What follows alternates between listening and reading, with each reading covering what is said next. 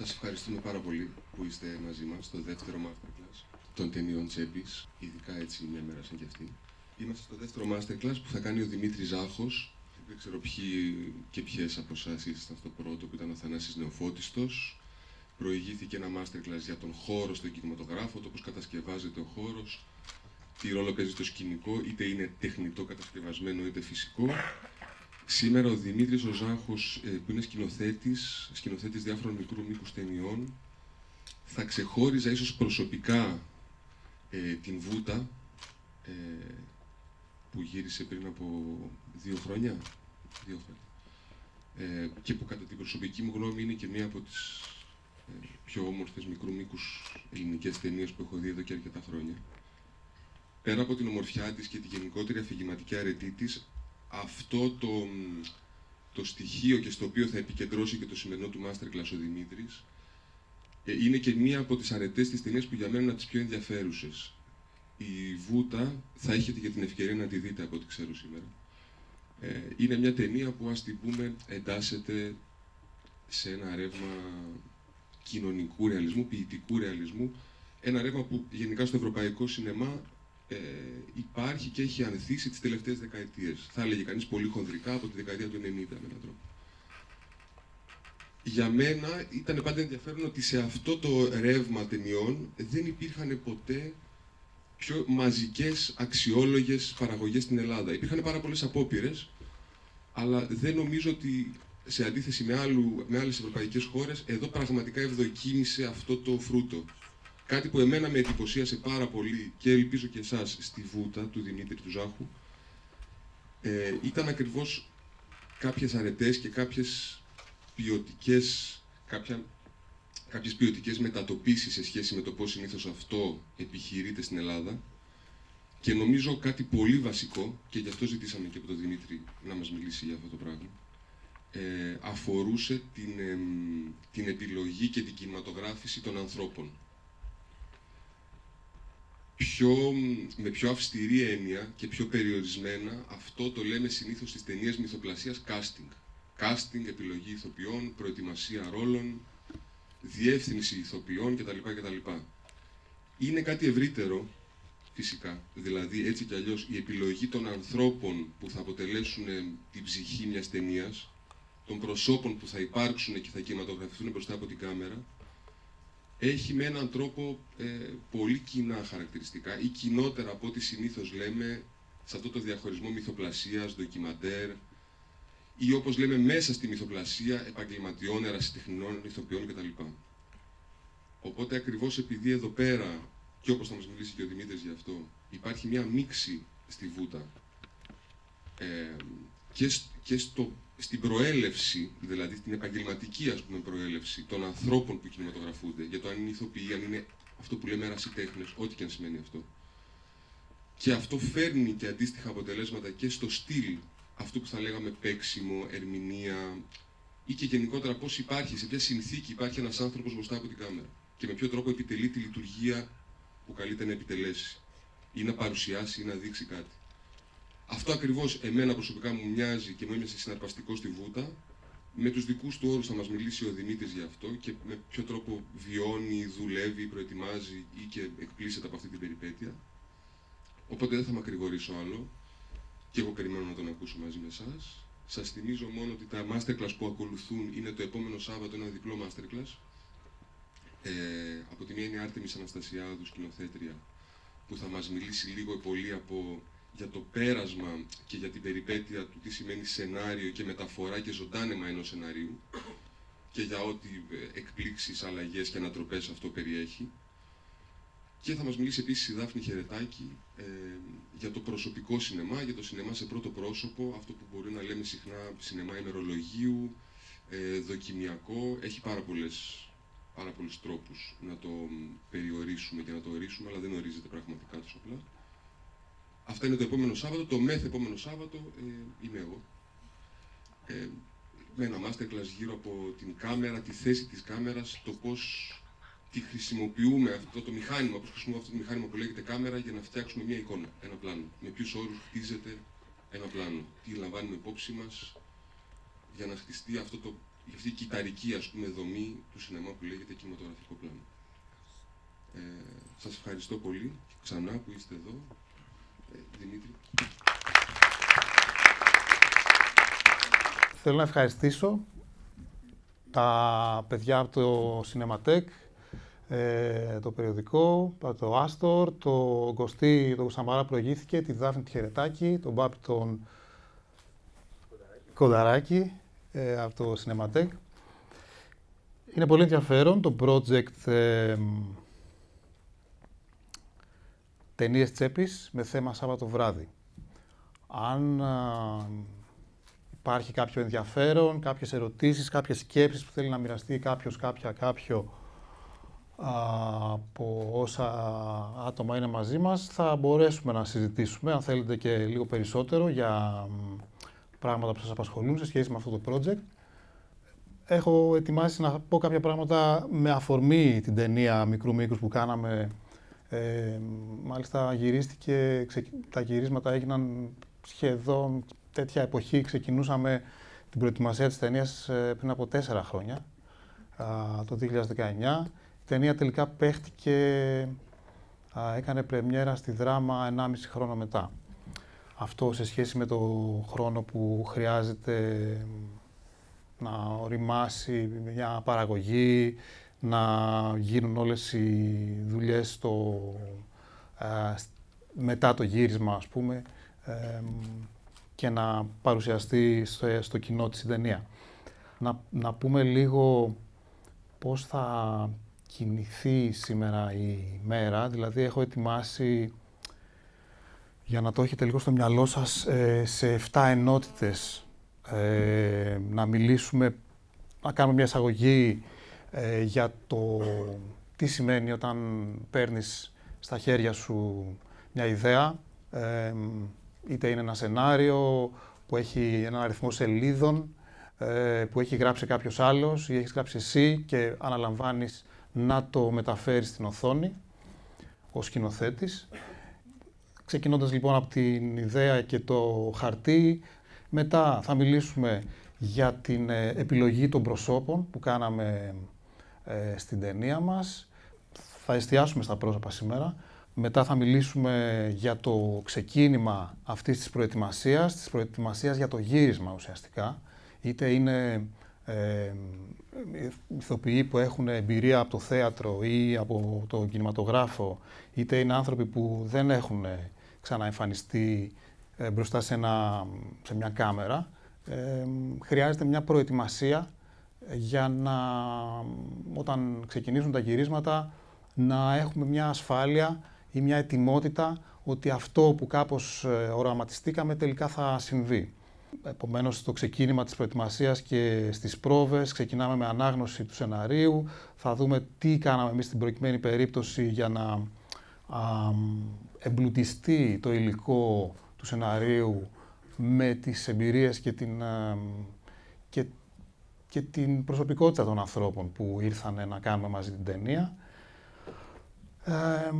σίγουρα παίζει ρόλο μεγάλο η εμπλοκή και άλλων ανθρώπων, και άλλων συντελεστών, και άλλων συνεργατών ε, της ταινίας. Ε, πολύ σημαντικό στο να... Ο κινηματογράφος είναι η τέχνη της εικόνας και του ήχου, αλλά κυρίως της εικόνας.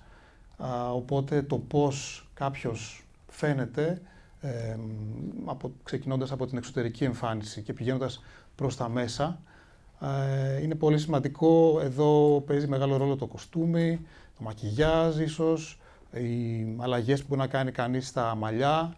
Ε, επομένως θα περάσουμε και λίγο από αυτή την ε, ας πούμε, προετοιμασία προς το γύρισμα. Τελικές πρόβες. Εδώ μπαίνει, αν δεν έχει μπει ήδη, μπαίνει το στοιχείο της κάμερας δεν υπάρχει κινηματογράφος χωρίς κάμερα. Όσο και να παίζουμε ε, ή να προβάρουμε ή να διαβάζουμε ή να κάνουμε πρόβα ε, μεταξύ μας, θα έρθει μια στιγμή που ό,τι κάνουμε θα ε, το κάνουμε για την κάμερα, αγνοώντας την, κάνοντας σαν να μην είναι εκεί, αλλά είναι ένας παράγοντας που επηρεάζει ε, πάρα πολύ την, την παρουσία όσων εκτίθενται. Επομένως, στις τελικές πρόβες μπαίνει το στοιχείο της κάμερας και αν είναι δυνατόν γίνονται κάποιες πρόβες στους ε, χώρους ή αρχίζουν, ε, επιλέγονται, ή τελειώνουν μάλλον ε, η επιλογή των χώρων, η διαμόρφωση των χώρων και αν είναι δυνατόν κάνουμε πρόβες ε, στους χώρους ε, που θα γυριστεί η ταινία ή σε μια προσωμείωση αυτών των χώρων όταν δεν είναι αυτό δυνατό.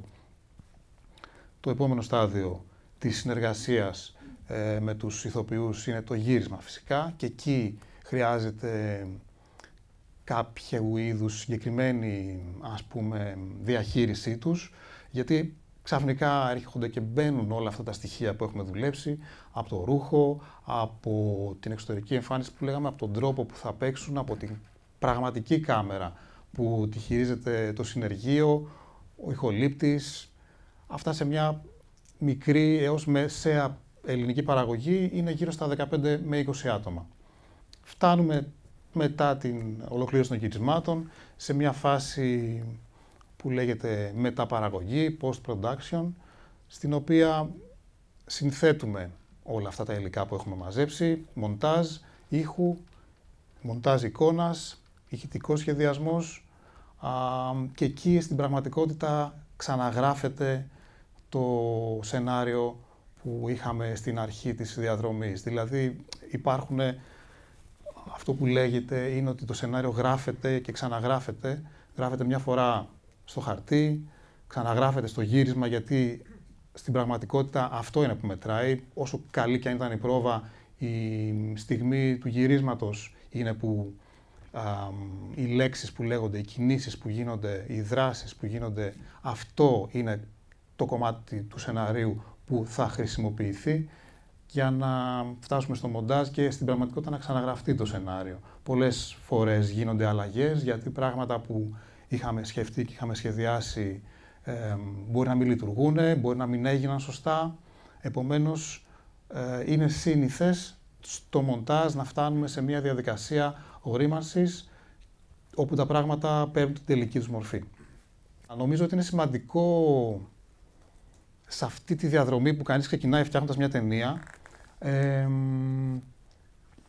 να υπάρχει μια συνειδητοποίηση σε σχέση με το γιατί θέλει να κάνει αυτή την ταινία. Γιατί κάνω αυτή την ταινία; Για... Πολλές φορές ε, ρωτάνε στα, στα meeting, τα επαγγελματικά της παραγωγής, γιατί κάνεις εσύ αυτή την ταινία τώρα; Γιατί μπορεί πολλά πράγματα να έχουν υποθεί και να έχουν ξαναυποθεί. Δεν έχει σημασία. Δεν είμαστε, ειδικά σε αυτή τη φάση που είμαστε τώρα, που συμμετέχετε όσοι από εσάς θέλετε σε ένα project τόσο ανοιχτό που είναι, φτιάχνετε μια ταινία με ένα κινητό τηλέφωνο, ε, τόσο προσιτό μάλλον, ε, δεν είναι υποχρεωτικό να πρέπει να δώσεις μια απάντηση γιατί σε κάποιον άλλον την κάνεις την ταινία. Παρ' όλα αυτά, ε, είναι μια, κάτι που θέλουμε να επικοινωνήσουμε. Ο κινηματογράφος δεν είναι κάτι που γράφουμε και το αφήνουμε στο σιρτάρι μας. Ε, είναι μια τέχνη που σκοπός της στο τέλος είναι να, να, να προβληθεί αυτό που έχεις φτιάξει, να το δουν άνθρωποι και με κάποιο τρόπο να επικοινωνήσουν κάποια πράγματα που σκέφτεσαι ή αισθάνεσαι ή προβλημα, σε προβληματίζουν, να υπάρξει μια επικοινωνία. οπότε το να έχεις μια απάντηση ξεκινώντας την ταινία για το, για το λόγο που θέλεις να μπεις σε αυτή την περιπέτεια είναι σημαντικό ακόμα και αν ε, δεν θα την πει σε κανέναν, ακόμα και αν ε, θα την αλλάξεις αυτή την απάντηση στο λόγο που είσαι σε αυτό το, το ρόλο, ας πούμε. Μπορεί να αλλάξεις τη διάρκεια της, ε, της διαδρομής. Μπορεί στο τέλος να καταλάβεις ποιο ήταν αυτό το πράγμα, ποιο ήταν αυτή η αρχική, το αρχικό σου ερέθισμα που σου έδωσε την κινητήριο δύναμη για να συνεχίσεις και να προχωρήσεις και να τα απεξέλθεις σε διάφορα θέματα, δεν θα έλεγα απαραίτητα προβλήματα, αλλά σε διάφορα ζητήματα που προκύπτουν στην ε, διαδρομή. Οπότε εμείς ε, στην, στην ταινία μας ε, σίγουρα θέλαμε ήταν ένα σενάριο, ας ξεκινήσω από αυτό, ε, που ε, έγραψε ο συνάδελφος και καλός μου φίλος ο Γιώργος Χοτελτζίδης, ένα σενάριο που κάπως ήρθε στα χέρια μου, μου το πρότεινε δηλαδή εκείνος, και από την πρώτη στιγμή συνειδητοποίησα ότι ήταν μια ιστορία με συγκρούσεις, ήταν μια ιστορία με χαρακτήρες ε, που κάτι θέλουν. Ο κεντρικός χαρακτήρας της ιστορίας είναι ένας 17χρονος, ένας έφηβος, ο Χρήστος. Στην ε, δεύτερη γραφή που μου έδωσε ο, ο Τελτζίδης ε, ήταν ένα, η ιστορία διαδραματίζονταν στη Σταυρούπολη, στη Θεσσαλονίκη. την περιοχή, τη γειτονιά που μεγάλωσε ο Γιώργος. Εγώ μεγάλωσα στην ανατολική πλευρά της Θεσσαλονίκης. Στη Θεσσαυρούπολη είναι οι, δυτικοί, οι δυτικές συνοικίες της Αθήνας, ας πούμε. Είναι στη Θεσσαλονίκη πολύ κοντά στο κέντρο, αλλά είναι παλιές προσφυγικές γειτονιές. Ε, Παρ' όλα αυτά, κάπως ε, είχα μια εικόνα και μια αντίληψη για τον κόσμο για τον οποίο συζητάει ε, και διαπραγματεύεται το σενάριο. Και υπήρχε μια κομβική σχέση για την οποία μιλάει η ταινία, στο πλαίσιο μιας οικογένειας που έχει προβλήματα, ε, η σχέση ενός πιτσιρικά με τον πατέρα του, ο οποίος επιστρέφει ή μπαινοβγαίνει στη φυλακή και βρίσκεται ξανά πίσω στο σπίτι μετά από μια περίοδο που έχει λείψει. ένα ερώτημα που και ένας, αν θέλετε, προβληματισμός μπαίνοντας σε αυτή την ταινία ήταν πώς ε, μεγαλώνει ένα παιδί ε, σε αυτό το πλαίσιο. Όσο έρευνα και να κάνει κανείς, αν έχει να κάνει με την ε, εμπειρίες ας πούμε δικές του ή αν ξέρει ανθρώπους που σε ιδρύματα ή σε κοινωνικές δομές ε, ή αν διαβάσει πράγματα. Ο κινηματογράφος ε, και η τέχνη, οτιδήποτε κάνει κανείς, μιλάει με διαφορετικό τρόπο αναδεικνύει όχι τη στατιστική, αλλά την περίπτωση ενός ανθρώπου που μπορεί να μας δώσει να καταλάβουμε πολλά περισσότερα πράγματα από ότι διαβάζοντας, διαβάζοντας ένα άρθρο στην εφημερίδα ή α, βλέποντας, ε, ας πούμε, ε, μια στατιστική σε σχέση με τα παιδιά που είναι υψηλού ρίσκου, όπως λέγονται. Ο Χρήστος δηλαδή ε, είναι ένα παιδί υψηλού ρίσκου, μεγαλώνει σε μια ε, οικογένεια που κατά πάσα πιθανότητα θα διαιωνίσει αυτό το φαύλο κύκλο της ε, παραβατικότητας, της ε, έλλειψης επικοινωνίας. Πώς είναι να μεγαλώνει κάποιο παιδί σε αυτό το πλαίσιο; Αυτή ήταν μια, ένα ερώτημα και, ένας, και μια αγωνία να, να, να αποδώσουμε αυτό το ερώτημα με έναν τρόπο ρεαλιστικό και αληθοφανή. τι του αρέσει; Τι, τι προβληματισμούς έχει, πώς είναι τα πράγματα στο σπίτι του.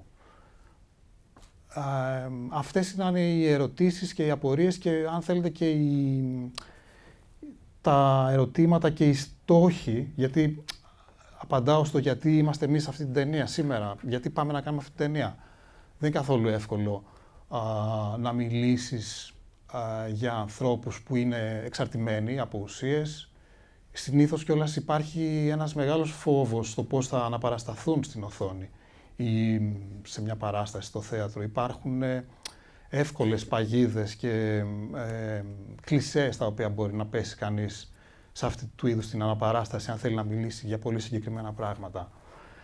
Ο, πάντα όμως ε, σε αυτό το σημείο ίσως πρέπει να πω ότι με κάθε έναν από τους χαρακτήρες, είτε ήταν αεραστέχνης ηθοποιός, είτε ήταν επαγγελματίας, προσπαθήσαμε με κάποιο τρόπο να υπερασπιστούμε αυτό τον ήρωα, δηλαδή να, να βρούμε το δίκιο που έχει ε, σαν, σαν άνθρωπος στη ζωή του, γιατί λειτουργεί, ποιο είναι η λειτουργία της, πώς λειτουργεί, ε, ποιος είναι ο ηθικός κώδικας αξιών του και να μην πάρουμε με αυτόν τον τρόπο, με το σχεδιασμό δηλαδή αυτό που κάνουμε ε, των, των χαρακτήρων και των ρόλων και μπαίνοντας σε ένα ας πούμε ψυχολογικό υπόβαθρο, να μην πάρουμε πολύ άμεσα τη μεριά του ενός του άλλου. Α, να δώσουμε δηλαδή δίκιο σε όλους τους χαρακτήρες που εμφανίζονται στην ταινία με κάποιον τρόπο. Αυτή ήταν, ήταν στόχη της ταινίας, μπαίνοντας δηλαδή στην, στην προπαραγωγή και με το σενάριο στα χέρια μας. Με το χαρτί που έχει γράψει ένας άλλος άνθρωπος, αλλά με τον οποίο έχουμε πολύ μεγάλη ε, συνεννόηση και συνεργασία και κατανόηση ο ένας για τους προβληματισμούς του άλλου. Είναι σημαντικό, α, νομίζω ο Ken Loach έλεγε σε μια συνέντευξή του ότι με τον σεναριογράφο του έχει ιδεολογική ταύτιση και με τον διευθυντή φωτογραφίας του έχει ε, αισθητική ταύτιση. Τα βρίσκουν σε σχέση με το αισθητικό κομμάτι. Ε, ή συνεννοούνται ή έχουν καλή επικοινωνία. Επομένως, ε, ήταν σημαντικό και σαν ξεκίνημα αυτό. Με τον Γιώργο γνωριστήκαμε στο φεστιβάλ της δράμας, όταν πεζόταν εκεί η πρώτη ταινία που είχαμε κάνει. Ήταν μια ταινία που λέγεται Πιγκουίνι, ε, σαν διπλωματική εργασία ε, δική μου στο τμήμα κινηματογράφου, στο οποίο τελείωσα, σπούδασα σκηνοθεσία στη Θεσσαλονίκη. Και το 2012 ήταν και ο Γιώργος με μια δική του ταινία εκεί στη δράμα, γνωριστήκαμε εκεί και κάπως ξεκινήσαμε να δουλεύουμε μαζί την ιστορία της Βούτας. Οι ήρωες έχουν στοιχεία παιδιών με τα οποία μεγαλώσαμε. Μάλιστα στην αρχική πρώτη-δεύτερη γραφή η ταινία ε, ήταν, τοποθετούνταν στη Σταυρούπολη του 90. Επομένως μιλούσε ο Γιώργος ξεκάθαρα για τους ανθρώπους ε, με τους οποίους μεγάλωσε μαζί. Α, φτιαγμένα μηχανάκια, παρέες από τεχνικά λύκεια και μεροκάματα σε χειρονακτικές εργασίες στα φανοποιεία ή τους φούρνους που είναι πράγματα που ακόμα και σήμερα χαρακτηρίζουν την κουλτούρα των παιδιών που ανήκουν στα λαϊκά στρώματα. Εκεί κάπου μπαίνει και η ιστορία της βούτας. Βούτα είναι ένα είδος περιστεριού, το οποίο ως πρόσφυγες είχαν φέρει αυτά τα περιστέρια στις ταράτσες τους εκεί στη Σταυρούπολη οι άνθρωποι και ήταν κάτι που το, έβλεπ, το βλέπεις συχνά ακόμα και τώρα. Η βούτα λοιπόν είναι ένα είδος περιστεριού που ανεβαίνει πολύ ψηλά μετά από εκπαίδευση που κάνει ο, ο Περιστεράς, ας πούμε, ο ιδιοκτήτης της, ανεβαίνει πολύ ψηλά στον ουρανό και κάνει μια κατακόρυφη πτώση πολύ γρήγορη. Έχει ένα συμβολισμό αυτό, τον οποίο χρησιμοποίησε ε, στο σενάριο του ο Γιώργος. Έτσι λοιπόν ε, θα ρίξουμε μια ματιά στο σενάριο, στο πώς φαινόταν, πώς είναι το σενάριο της ταινίας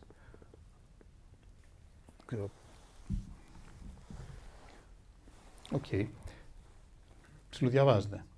Ωραία. Αυτό είναι το τελικό σενάριο, ε, λίγο πριν το γύρισμα. Δηλαδή, καθίσαμε με τον βοηθό σκηνοθέτη και βάλαμε λίγο σε μια συγκεκριμένη σειρά ε, τη σκέψη του Γιώργου, που δεν έχει πολύ μεγάλη διαφορά.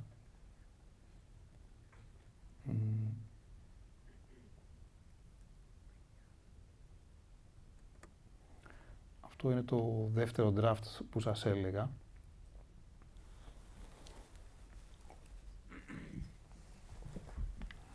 Ας διαβάσω κι εγώ, να θυμηθώ ότι έχουν αλλάξει πάρα πολλά πράγματα σε σχέση με το τελικό shooting script που λένε. Ε, έχουν αλλάξει όνομα οι χαρακτήρες, έχουν ε, αλλάξει η εποχή που γυρίστηκε η ταινία, έχει αλλάξει η τοποθεσία. Τελικά εμείς γυρίσαμε ε, στην περιοχή Ρέντι, Γάλεο, εκεί γύρω από την οδό Θηβών, προς τον Πειραιά. Ο Φόντας βρίσκεται στο δωμάτιό του, μόλις έχει ξυπνήσει και έξω είναι ακόμη νύχτα. Κάθεται στο κρεβάτι και κοιτάζει το άπειρο. Προσπαθεί να ανοίξει το μάτι του. Στον τοίχο του δωματίου του έχει μερικά κλουβιά με καρδερίνες και καναρίνια. Σηκώνεται και τραβάει τα πανιά που τους έχει βάλει το προηγούμενο βράδυ. Τους βάζει νερό, τροφή και αλλάζει τη βρώμικη εφημερίδα από κάποια. Τα κλουβιά τους είναι πεντακάθαρα και περιποιημένα. Βγαίνει από το δωμάτιο, το σπίτι είναι βρώμικο και ακατάστατο. Η μητέρα του, που κοιμάται στον καναπέ, μπρούμητα, έχει το κεφάλι χωμένο μέσα στα μαξιλάρια και δεν μπορούμε να δούμε τη φάτσα της. Μητέρα, θα έρθεις, ε, μητέρα λέει, θα έρθεις μετά τη δουλειά να βοηθήσεις, ε, κατά τις ε, δύο θα φτάσει. Φόντας. Ναι, μητέρα. Να μην το βρει το σπίτι, έτσι ντροπή είναι. Φόντας, εντάξει. Μητέρα. Φοντά, να του πεις του Θοδωρή σήμερα, καλά. Φόντας. Ναι, θα του πω. Άντε πάω. Ανοίγει την πόρτα και βγαίνει έξω. Είναι αυτή η σκηνή με την οποία ξεκινάει η ιστορία. σε αυτό το στάδιο της ε, προετοιμασίας, της δουλειάς που κάναμε, δεν έχουμε ακόμα βρει. Ε, εννοείται ότι διαβάσαμε ολόκληρο το σενάριο ξανά και ξανά. Περιγράφει αυτόν τον κόσμο για τον οποίο σας μίλησα προηγουμένως. Ε, όμως, κανείς είναι μόνος του. Στην πραγματικότητα δεν έχουν... Έχει γράψει ο σεναριογράφος ένα σενάριο, μπορεί να το έχεις γράψει και εσύ ο ίδιος, η ίδια, το ίδιο, αλλά ακόμα δεν έχει γίνει ένα ε, πιο ας πούμε οργανωμένο άνοιγμα. Ούτε ηθοποιούς μπορεί να έχεις στο μυαλό σου, μπορεί να έχεις βρει καν, ούτε συνεργάτες, ούτε τίποτα. Σε αυτή τη φάση βρίσκω πολύ δημιουργικό να καθίσει κανείς και να κλείσει τα μάτια και να δει τις εικόνες που του έρχονται από αυτό που του έχει δημιουργήσει η ανάγνωση του σεναρίου. Σίγουρα υπάρχουν αναφορές προσωπικές, ε, πράγματα που έρχονται από τη μνήμη, του, τη, τη μνήμη σου ή ταινίες που έχεις δει. Δεν είναι καθόλου άσχημο το υλικό με το οποίο θα δουλέψεις για την ε, πραγμάτωση, για το να φτιάξεις αυτή την ταινία. Για αυτά τα πράγματα στην πραγματικότητα θα αρχίσεις να μιλάς με όλους τους ανθρώπους τους οποίους θα συναντήσεις και θα κάνετε μαζί αυτή την ταινία. Οπότε είναι αρχική έμπνευση ε, το σενάριο, είτε είναι γραμμένο με αυτόν τον τρόπο, τον άμεσο και πολύ, ας πούμε, ε, για μένα ήταν έμπνευση, ε, περιγραφές εικόνων και πράγματα, δράσεις που είχε σκεφτεί ο σεναριογράφος γιατί είναι και σκηνοθέτης, ε, τα οποία κάπως μου ξυπνούσαν και εμένα μνήμες, όχι με την πρώτη ανάγνωση απαραίτητα. Υπήρχαν πράγματα που μετά από πολλές φορές και μετά από μεγάλη δουλειά ε, στην προετοιμασία άρχισαν, ε, ερχόταν ακόμα σαν ε, ιδέες που τελικά μπήκαν στο σενάριο, στην, ε, στην ταινία. Ε, επομένως, σε αυτή την πρώτη φάση θεωρώ πάρα πολύ σωστό να, να, να διαπραγματευτεί κανείς τη σχέση του με αυτό που συμβαίνει στην, στην, στο σενάριο, γιατί το σενάριο δεν είναι αυτός σκοπός. Δεν γράφουμε σενάρια για να δούμε τι ωραία που γράφονται ο σκοπός είναι η, η, η ταινία. Έτσι. Είναι μια περιγραφή, ένα προσχέδιο, ε, μια υπόσχεση για αυτό που θα δούμε στην οθόνη, τα σενάρια. Επομένως, θεωρώ ότι είναι και δωρεάν να κλείσει κανείς τα μάτια και να φανταστεί ε, τον κόσμο αυτό που περιγράφει η ταινία. Τι είναι αυτό που τον ικανοποιεί, να, να γίνεις με λίγα λόγια ε, ο πρώτος θεατής αυτής της ε, ταινίας, ίσως ο δεύτερος, αλλά ε, μετά το σεναριογράφο, αλλά ο πρώτος ε, στην πραγματικότητα γιατί ο ρόλος του σκηνοθέτη είναι αυτός που θα καθορίσει από εδώ και πέρα το πώς θα φαίνεται αυτό το υλικό ε, από το χαρτί στην οθόνη. Και μέσα σε αυτή τη διαδικασία κλεισίματος ματιών ή οραματισμού, ας πούμε, δεν το λέω μεταφυσικά, το λέω πολύ ρεαλιστικά, ε, έρχονται πράγματα και εικόνες για το πώς βλέπεις εσύ αυτή την ιστορία, σε τι χώρους τη φαντάζεσαι, τι πιστεύεις ότι χρειάζεται ε, ως background των ηρώων. σιγά σιγά προκύπτει ένα υλικό. Εμένα με βοήθησε πάρα πολύ σε αυτή τη διαδικασία, α, μάλλον, ναι, σε αυτή τη διαδικασία με βοήθησε πάρα πολύ η συνεργασία με έναν ε, σκητσογράφο, ε, η, η έννοια του storyboard, δηλαδή του πώς ε, ε, φτιάχνεις σκίτσα της κάθε σκηνής ή κάθε πλάνου, υπάρχει στον κινηματογράφο. Φτιάξαμε δηλαδή μια σειρά από σκίτσα μαζί σε σχέση με την ιστορία που, ε, και κάθε, την κάθε σκηνή. Α, αυτό που κάναμε τελικά δεν ήταν ένα αναλυτικό storyboard της παραγωγής. Στην πραγματικότητα αυτές τις ιδέες και αυτές τις σκέψεις και αυτές τις εικόνες που είχα στο μυαλό μου σαν ας, που, που, είχαν, που μου τις είχε τροφοδοτήσει η ανάγνωση του σενάριου, καθίσαμε και τις σχεδιάσαμε. Εκείνος τις σχεδίασε δηλαδή και εγώ θαύμαζα από δίπλα. Ε, τι ωραία που παίρνεις σάρκα και οστά κάτι που δεν φανταζόμουν ότι μπορεί να είναι τόσο όμορφο και σαν πρώτο, πρω, πρώτη ύλη, πούμε, το, σαν υλικό αυτό το storyboard. Ε, και, και ήταν ένα εφόδιο, ένα εργαλείο το οποίο βοήθησε πάρα πολύ στην επικοινωνία της ταινίας με όλους τους συνεργάτες. Κάτι πολύ πρακτικό. Σε τι πρόγραμμα γράφετε το σενάριο, σε CLTX, δεν ξέρω αυτό. Ναι, ε, δεν, ε, δεν νομίζω ότι έχει καμιά σημασία ε, σε τι γράφει. Υπάρχουν κάποια προγράμματα ε, πιο επαγγελματικά, ας πούμε, που κανείς πληρώνει μια συνδρομή. Ε, εγώ προσωπικά χρησιμοποιώ έναν απλό κειμενογράφο. Δηλαδή ένα πρόγραμμα σαν αυτά που βρίσκουμε εγκατεστημένα στον υπολογιστή μας. Mm. Η γραμματοσυρά και το στυλ της μορφοποίησης έχουν μια τυποποίηση. Δηλαδή, αν θέλεις αυτό που είναι κάπως τυπικό, είναι το ε, η γραμματοσυρά Courier ε, αριθμός 12. Okay. Ε, το έχουν όλα τα προγράμματα δηλαδή. Και βοηθάει να γράφουν, δεν ξέρω, θέλω να μάθω εσάς πρακτικά τι βοηθάει, να γράφετε το σενάριο από την αρχή ως shooting script, δηλαδή να έχετε βρει όντως τα πλάνα, πώς το φαντάζεστε, ή γράφετε την ιστορία και μετά αρχίζετε και φαντάζεστε. Ωραία. Κάτσε να, πάμε, ε, να δούμε λίγο το shooting script που είπαμε πριν, γιατί τι σημαίνει ας πούμε... Ωραία. Ε, στην ίδια ε, ας πούμε ενότητα, στην αρχή, έχω προσθέσει μια σκηνή, πάντα σε συνεργασία με τον σεναριογράφο, έτσι, έχουμε, έχουμε αφενός διεκδικό ένα δικαίωμα να βάλω και τη δική μου πινελιά σε αυτό το πράγμα που πάμε να κάνουμε. Αφετέρου του επικοινωνώ κιόλας ότι σκέφτομαι κάτι τέτοιο ή αυτή την κατεύθυνση ή ανταλλάσσουμε γνώμες. Εκεί μπορεί να τσακωθούμε δεν, το, δεν είναι ενδεχόμενο, έχουμε τσακωθεί. Ε, ή μπορεί να μου πει ναι, κάνε το γουστάρεις, ε, πολύ καλή ιδέα, ξέρεις, προχώρα.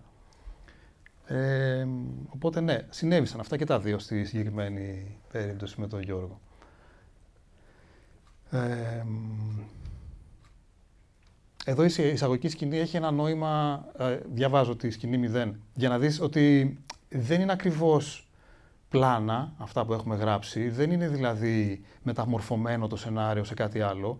Είναι σενάριο γιατί θα, αυτό το συγκεκριμένο, ας πούμε, θα, συγκεκριμένη ε, εκδοχή θα συνεχίσει να... Θα, θα είναι κάτι το οποίο θα, θα μας ακολουθεί σε όλη τη διάρκεια των γυρισμάτων και ίσως και λίγο μετά.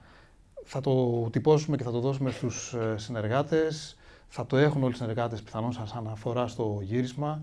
Δεν είναι δηλαδή ένα εργαλείο για το σκηνοθέτη, δεν έχει μέσα σημειώσεις ή ας πούμε, σκέψεις για το πώς μπορεί να, πώς θα γίνει αυτή η συγκεκριμένη σκηνή ή άλλη.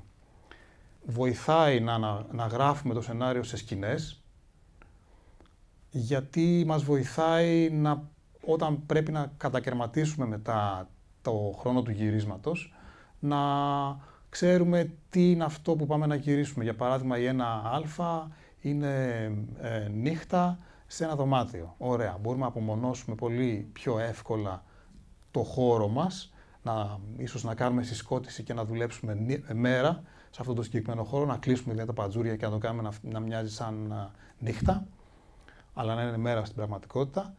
Και δεν χρειάζεται να συσκοτήσουμε όλο το σπίτι, μόνο ένα συγκεκριμένο χώρο του σπιτιού. Οπότε είναι ίσως ένα tip που βοηθάει αυτό το να οργανώσει κανείς το σενάριό του, την ιδέα του, την αλληλουχία των δράσεών του σε σκηνές, οι οποίες διαδραματίζονται σε ένα χώρο σε μια συγκεκριμένη ώρα της μέρας. Δηλαδή αυτό συνήθως χοντρικά το μοιράζουμε σε μέρα και νύχτα, ημερήσια πλάνα και νυχτερινά πλάνα και υπάρχουν και τα ενδιάμεσα, ας πούμε, που προσπαθεί κανείς να προλάβει το φως την ώρα που αλλάζει από μέρα σε νύχτα ή από νύχτα σε μέρα και δεν διαρκεί και πάρα πολύ.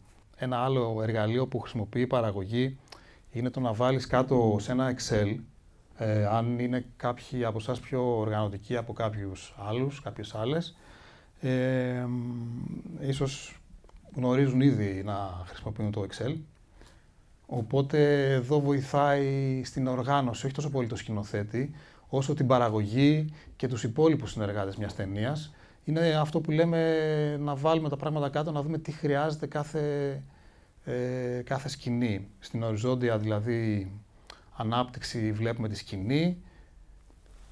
Εδώ τέρμα ε, αριστερά είναι ο αριθμός της σκηνής με κόκκινο χρώμα.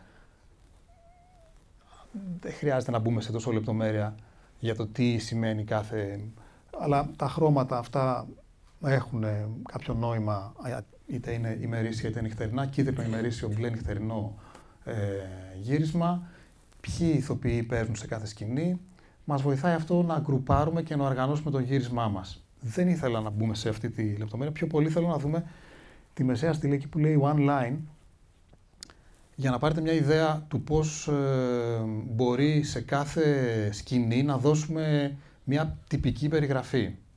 Εδώ, για παράδειγμα, η, πρώτη σκηνή, η σκηνή 0 μάλλον είναι η τίτλη, σκηνή 1α έχει χωρίσει βοηθός σκηνοθέτη, το κάνει αυτό συνήθως. Ένας άνθρωπος ο οποίος είναι ενδιάμεσα ε, της παραγωγής και του σκηνοθέτη.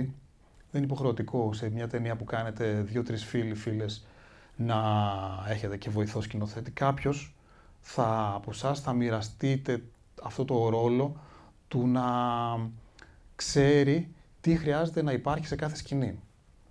Τι μάλλον ε, φαίνεται στην πραγματικότητα σε κάθε σκηνή. Αν κάτι δεν φαίνεται, επειδή θα μπει κάποια στιγμή η παράμετρος της κάμερας, δεν χρειάζεται να μας απασχολήσει και σαν ε, στοιχείο της παραγωγής. Ας δούμε το, το τρέιλερ.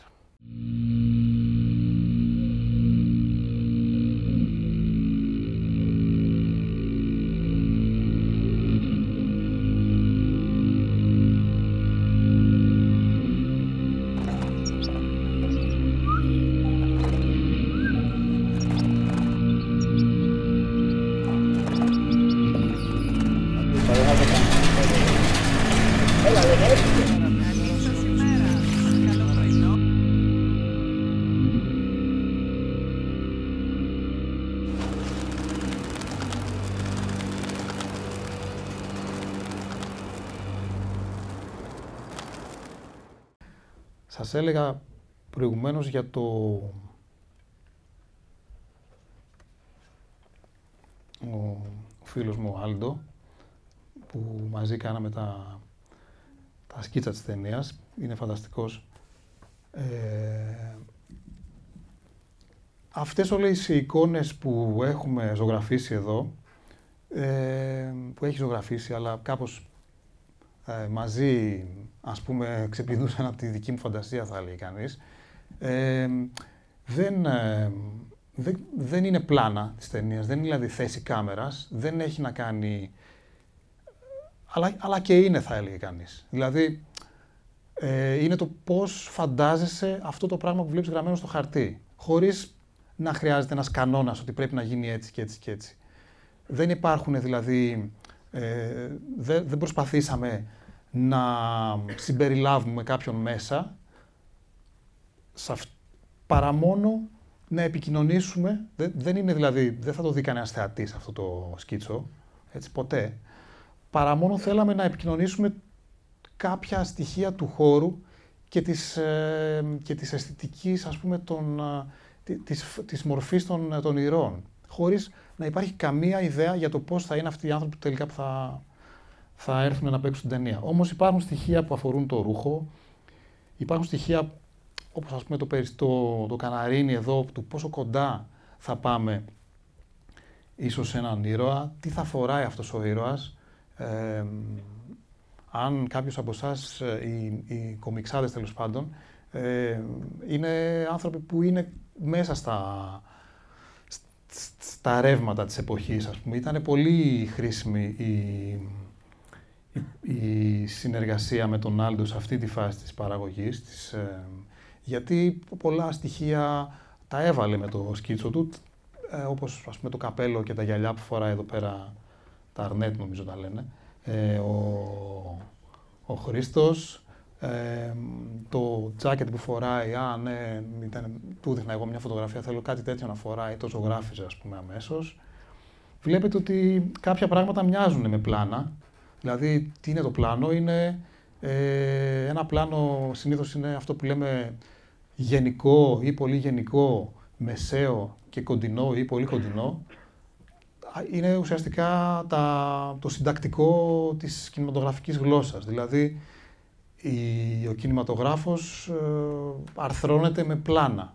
Έτσι. Ένα κοντινό πλάνο σημαίνει... Ένα κοντινό, και όλα αυτά, το γενικό, το μεσαίο και το κοντινό, αρθρώνονται και σχετίζονται με το πόσο κοντά ή μακριά σε σχέση με την ανθρώπινη φιγούρα ε, έχουμε πάει το φακό της κάμερας. Α, οπότε εδώ αυτό ας πούμε θα έλεγε κανείς ότι είναι ένα μεσαίο πλάνο που κάθεται στο παράθυρο και πηγαίνει στη δουλειά ο Χρήστος, ενώ το επόμενο είναι μάλλον ένα πολύ γενικό και θα μπορούσε να λειτουργήσει ακόμα και στο μοντάζ έτσι, με αυτή τη λογική.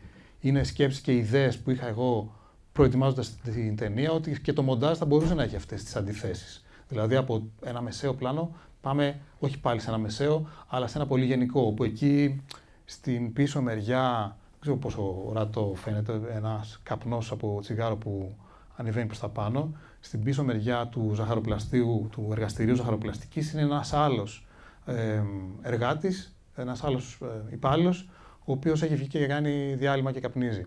Και φτάνει ε, Αυτός είναι άλλος ήρωας της ταινίας. Ο Πάνος, ο κολλητός του Χρήστου, φτάνει με ένα παπί, ας πούμε, και, για να βρει τον, τον Χρήστο που δουλεύει. Ε,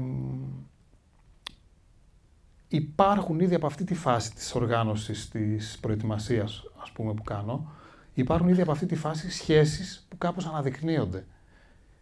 Δηλαδή εδώ, ε, αυτή είναι μια μια στιγμή, η πρώτη, το πρώτο πάνω-πάνω σκίτσο, όπου έρχεται σαν ξένος ο Πάνος, ο, είπαμε ότι είναι ο Χρήστος, ο άνθρωπος που σας περιέφερα τόση ώρα, και ο κολλητός του είναι ο Πάνος, συνομήλικος, άλλο στυλ, τύπος αυτός, λίγο πιο καβατζωμένος α, από ότι ο Χρήστος.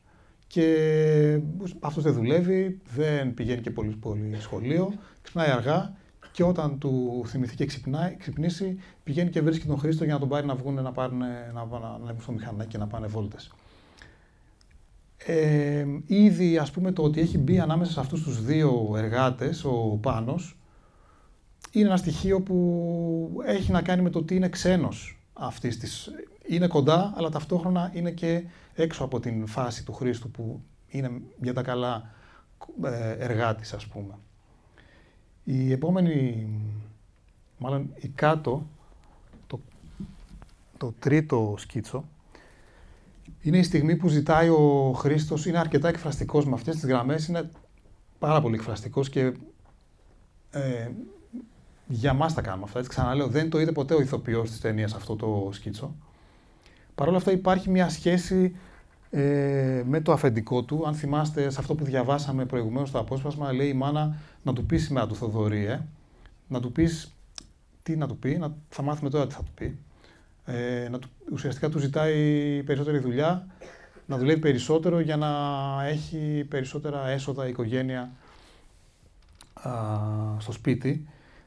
Ε, ήδη υπάρχει μια σχέση από αυτή την εικόνα ε, στην σχέση που θα αναζητήσουμε μετά στις πρόβες και στις πρόβες με κάμερα που θα κάνουμε με τους τοπίους. Ε, επίσης εδώ πέρα κάποιες ιδέες σε σχέση με το πώς βλέπουμε αυτούς τους ήρωες στο χώρο, τα περιστέρια της ταινίας.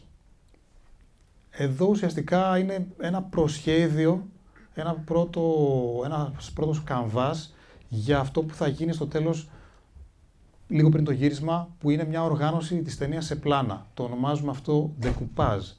Είναι δηλαδή το κόψιμο της ταινίας σε πολλά πλάνα. Μεσαίο, κοντινό, γενικό. Α, όπου βλέπουμε και τους χαρακτήρες να λειτουργούν. Ε, εντάξει. Η μάνα του, ας πούμε, είναι μια περιγραφή που δεν είναι απαραίτητο ότι θα πάμε να βρούμε μια γυναίκα που να μοιάζει σε αυτό το σκίτσο, αλλά κάπως καταλαβαίνουμε πράγματα από τον τρόπο που στέκεται, από τον τρόπο που κοιτάζει, από το πώς είναι η μαύρη κύκλη κάτω από τα μάτια της. Πιθανόν δηλαδή να είναι κάποιες αναφορές που θα μαζέψουμε και θα βρούμε σε εικόνες και σε, ε, σε υλικά φωτογραφίες που θα βρούμε κιόλας πολύ εύκολα κάνοντας μια αναζήτηση. Αυτά λίγο πολύ ήταν ε, μια προεργασία ώστε να αρχίζει να οριμάζει και μέσα μου το τι είναι αυτοί οι άνθρωποι που πάμε να... Βλέπετε εδώ, ας πούμε, ένα πολύ κοντινό πλάνο στα μάτια ενός ανθρώπου και ένα πολύ κοντινό σε ένα μήλο που αλέθει μία, ε, ετοιμάζει, ξέρω εγώ, κάτι έτσι, με αλεύρι εκεί σε αυτό το μήλο. Α, κάποιες ιδέες για τους χαρακτήρες της ιστορίας, για το πώς θα μπορούσε να είναι η αισθητική τους, ας πούμε, για τον μπαμπά, για τον Περιστερώνα, με βάση υλικό που έφερα και τροφοδότησα εγώ τον, τον σκητσογράφο. Τώρα, είμαστε πλέον στη φάση που κάπως πρέπει να βρούμε αυτούς τους χαρακτήρες. Δηλαδή έναν δύο 17χρονους που μεγαλώνουν σε αυτό το κοινωνικό φάσμα. Καμιά ιδέα; Ορίστε. Α, πε, πε, μισό λεπτάκι έχουμε μικρόφωνο.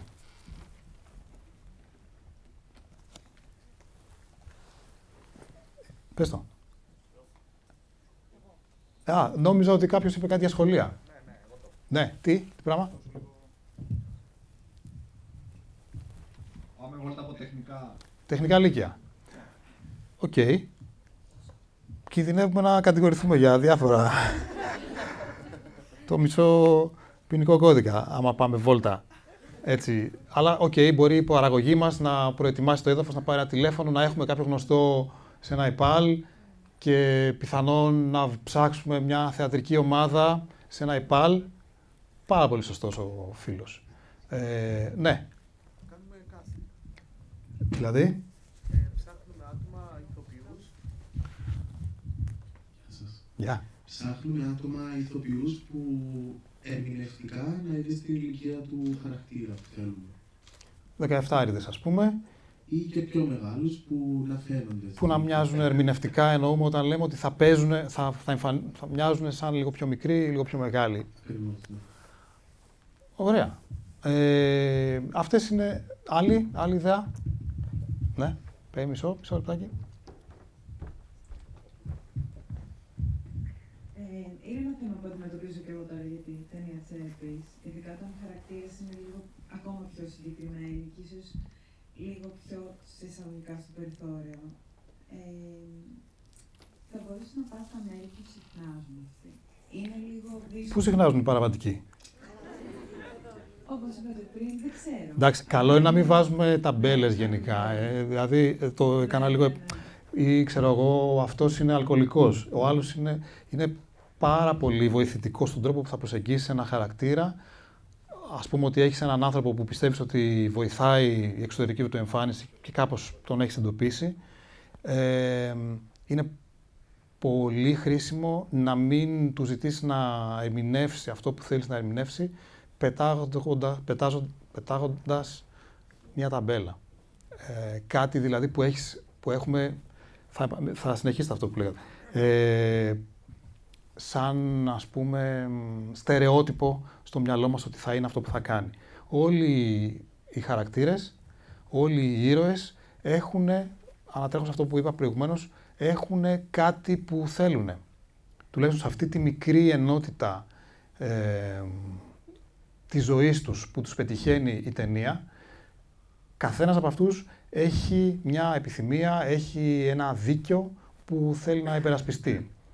Ε, επομένως δεν ξεκινάμε από το στερεότυπο, αλλά ξεκινάμε από την αλήθεια, από αυτό που μπορεί δυναμικά να φέρει ο καθένας ε, σ- στην πραγματικότητά του, στην καθημερινότητά του.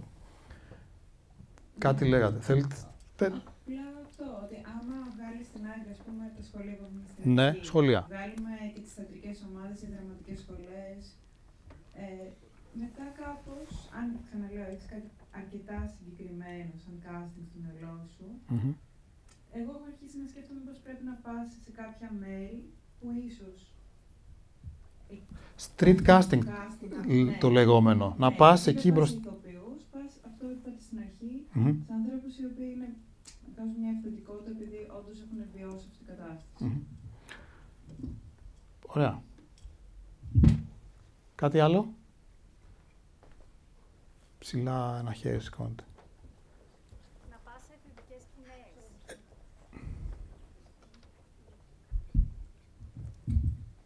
να πας σε εφηβικές σκηνές, σε παιδιά τα οποία ήδη έχουν ξεκινήσει με θεατρικό κινηματογραφικό ταξίδι και να δεις αν κάποιοι από αυτούς σου κάνουν. Άρα λοιπόν η... έχουμε μια ιδέα για το πού μπορούμε να βρούμε 17 χρόνους. Σε λύκεια, σε θεατρικές ε, σκηνές, στο δρόμο εκεί που συχνάζουν, ε, στο facebook ίσως, να κόψουμε φάτσες. Μην γελάτε γιατί πλέον είναι εργαλείο casting το, το facebook. Ε, πέρα από τους επαγγελματίες ηθοποιούς, δηλαδή που το χρησιμοποιούν όσοι, όσες, όσα το χρησιμοποιούν για τη δουλειά τους, ε, είναι ένα εργαλείο όπου το πρόσωπο είναι η ταυτότητα του ανθρώπου που, που απεικονίζεται. Ωραία. Οκ. Θέλετε να σας πω τι κάναμε εμείς; Ε, δεν κάναμε casting. Δεν κάναμε δηλαδή μια οργανωμένη, ε, ένα κάλεσμα, μια ανοιχτή ανακοίνωση, την οποία θα την τοποθετήσουμε, θα την επικοινωνήσουμε, ε, θα, θα προσπαθήσουμε να έρθουν άνθρωποι ε, που θα ταιριάζουν σε αυτό το προφίλ που ζητάμε. Ε, δεν πήγαμε σε... Υπάρχουν και κάτι ακόμα που δεν το, είπε, δεν το είπατε, υπάρχουν και εταιρείες που εξειδικεύονται σε αυτό το πράγμα, στο casting. Α, μάλιστα, πιθανόν σε μια ταινία μικρού μήκους να θέλουν να βοηθήσουν και χωρίς ε, αντίτιμο ή χωρίς σημαντικό αντίτιμο. Ε, υπάρχουν εταιρείες δηλαδή που έχουν ένα κατάλογο με πάρα πολλά βιογραφικά και φωτογραφίες ενεργών ε, ηθοποιών τα οποία μπορεί κανείς να ξεφυλίσει ή να τον κατευθύνει κάποιος από το γραφείο ε, σε σχέση με αυτό. Ε, ε, ούτε αυτό κάναμε. Ε, ήμασταν μάλλον πολύ τυχεροί.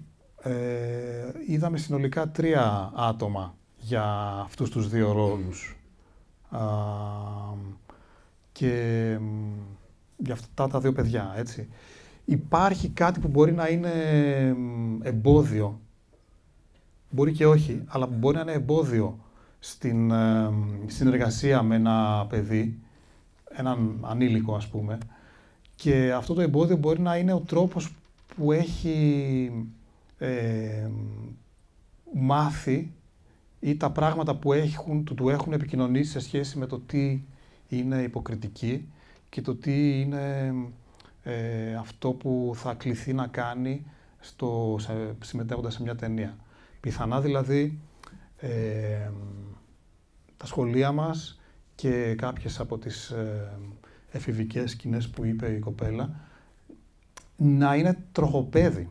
Ακόμα και οι δραματικές σχολές σε αυτή την ηλικία να είναι εμπόδιο στο πόσο ανοιχτός θα είναι κάποιος άνθρωπος ε, σε αυτή την ηλικία στο να ε, συνδιαμορφώσει ε, στο πλαίσιο μιας ε, μικρού μήκους ταινίας. Το λέω με κάθε επιφύλαξη, γιατί απ' την άλλη μπορεί να βρει κάποιος τον άνθρωπο που φανταζόταν για την ταινία του. Πολύ σωστά είπατε, υπάρχουν και θεατρικές και δραματικές σχολές και θεατρικές ομάδες ε, για παιδιά, για μαθητές, μαθήτριες. Ε, και υπάρχουν και οι φίλοι μας ε, που μπορούν να μας βοηθήσουν όταν ψάχνουμε σε ένα έτσι, κοινωνικό δίκτυο ανθρώπων κάτι συγκεκριμένο. Εμείς αυτό κάναμε, αυτό έκανα, ξεκινώντας δηλαδή να ψάχνω, όντως ήταν η πιο σημαντική από τους χαρακτήρες, από τους ήρωες της ταινίας, Δηλαδή ένιωθα ότι χρειάζεται μια δουλειά και μια συνεργασία και μια σε βάθος χρόνου επικοινωνία με, το, με τα παιδιά που θα ερχόταν και θα ενσαρκώναν αυτούς τους χαρακτήρες. Επομένως ξεκινήσαμε από αυτούς τους δύο και... Για να δω.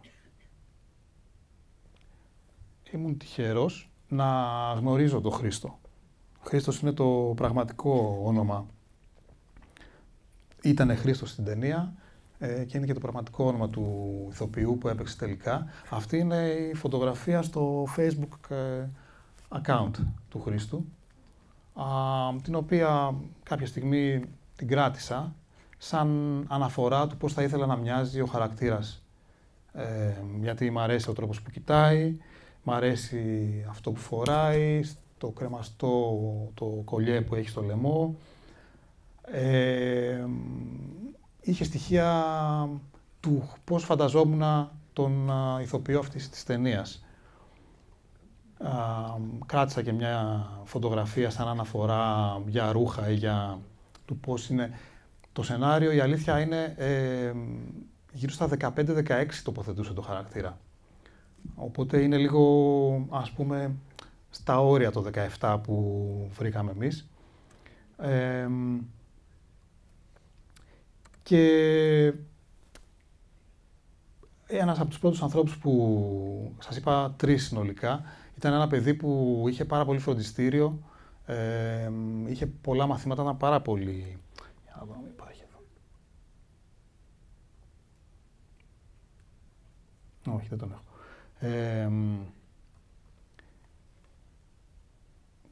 πάρα πολύ κοντά επίσης αυτό που ε, σκεφτόμασταν για την ταινία. Και αποφάσισα να μιλήσω στον, στον Χρήστο και όντως βρεθήκαμε πολύ άμεσα. Του έδωσα το σενάριο από την πρώτη συνάντησή μας. Του είπα ότι θέλεις να, θέλω να παίξει. Τον Χρήστο τον ήξερα από μια θεατρική ομάδα στην οποία είχα συμμετάσχει, σαν ως βοηθός ε, σκηνοθέτη.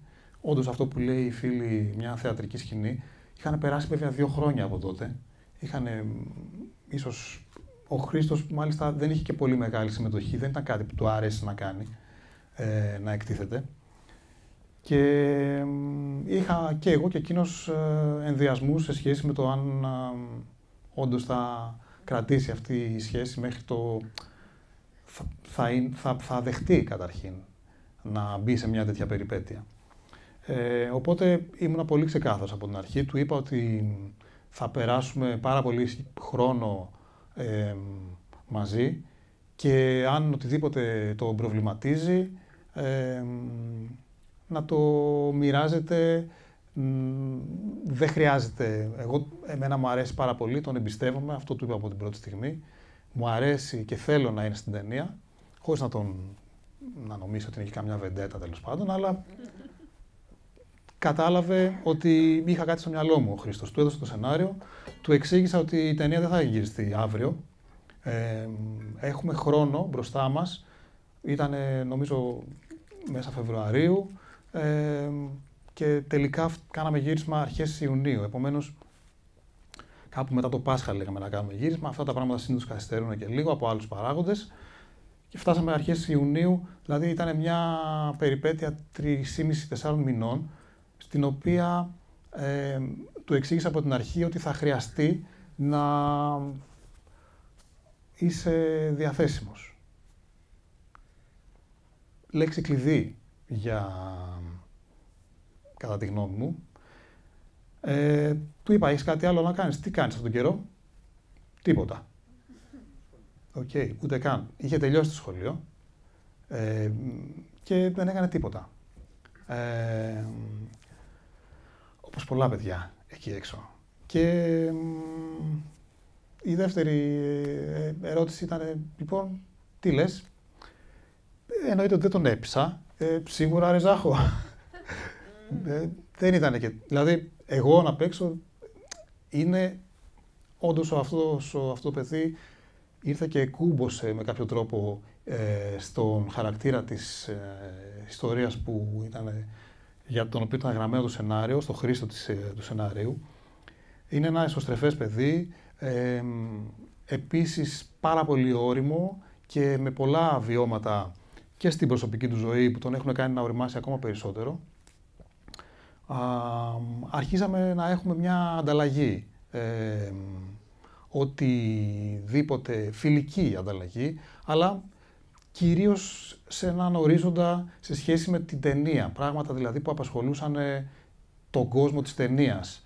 Η οικογένεια, τα μηχανάκια, τι άλλο μπορεί να έχει σχέση με τον κόσμο της ταινίας. Πολλές φορές πηγαίναμε με το αυτοκίνητο, τις γυρίσματα και πρόβες κάναμε και στο ΤΕΙ του Εγάλιο, στο, στο συγκρότημα των σχολείων του Εγάλιο, σε ένα σχολείο ΙΕΚ, στο ΙΕΚ του Εγάλιο, ζαχαροπλαστικής. Πηγαίνοντας για πρόβα, βάζαμε μουσική, έβαζε μουσική που ήθελε. Ε, κάπως άρχισε να φέρνει και ο Χρήστος τον κόσμο του στον κόσμο της ταινίας. Και αυτό προέκυψε αβίαστα. Α, ή τέλος πάντων σε αυτά που συνέβαιναν είχα, είχα το, το βλέμμα μου και στο τι μπορεί να κλέψω και να τσιμπήσω και να βάλω στο χαρακτήρα του, της ταινίας. Ο άλλος ο κύριος από την άλλη πλευρά είναι αυτός που, ο Μίλτος, μου τον πρότεινε ένας φίλος συνεργάτης ε, ηθοποιός, γιατί ήταν ένα παιδί που είχε τελειώσει το καλλιτεχνικό σχολείο και γιατί κάτι στην περιγραφή που του έδωσα εγώ του έκανε κλικ και ήθελε να γίνει και ηθοποιός. Και εκείνος δεν έκανε τίποτα στη ζωή του. Πάρα πολύ σημαντικό σε σχέση με το ότι μαζί τελικά κάναμε κάτι, δημιουργήσαμε ε, σε αυτή τη διαδικασία κάτι που πιστεύω ήταν σημαντικό και για εκείνους αλλά και για μας. Ε, αλλά ήταν, σημαντικό το ότι ήταν διαθέσιμη. Γιατί ε, αυτό είναι ένα πλεονέκτημα που μπορεί να έχει ένας άνθρωπος ο οποίος δεν είναι επαγγελματίας ηθοποιό, ότι έχει χρόνο, αρκεί βέβαια να το ξεκαθαρίσετε από την αρχή ότι θα χρειαστεί η παρουσία του α, τόσες φορές και να είναι ξεκάθαρο από την αρχή ώστε να μην ε, έρχεται και βαραίνει στη διαδικασία των προβών ή στη διαδικασία των γυρισμάτων και γιατί αυτά τα πράγματα συνήθως παίρνουν ε, ώρα. Τα γυρίσματα σε ένα ας πούμε επαγγελματικό ε, γύρισμα κρατάνε από 8 έως 10 ώρες συνήθως, την ημερησίως ε, επί 5-6 μέρες μια μικρού μήκους ταινία 18-20 λεπτών. Επομένως, πιθανόν να μην προλάβετε να γυρίσετε την ταινία σας σε 4 ώρες, αν είχατε κάτι τέτοιο στο μυαλό σας. Πιθανόν να προλάβετε, δεν, δεν λέω το αντίθετο, αλλά καλό είναι να είστε προετοιμασμένοι για πολλά περισσότερα από το, την αρχή και να είναι ξεκάθαρο αυτό και στους ανθρώπους που θα επικοινωνήσετε.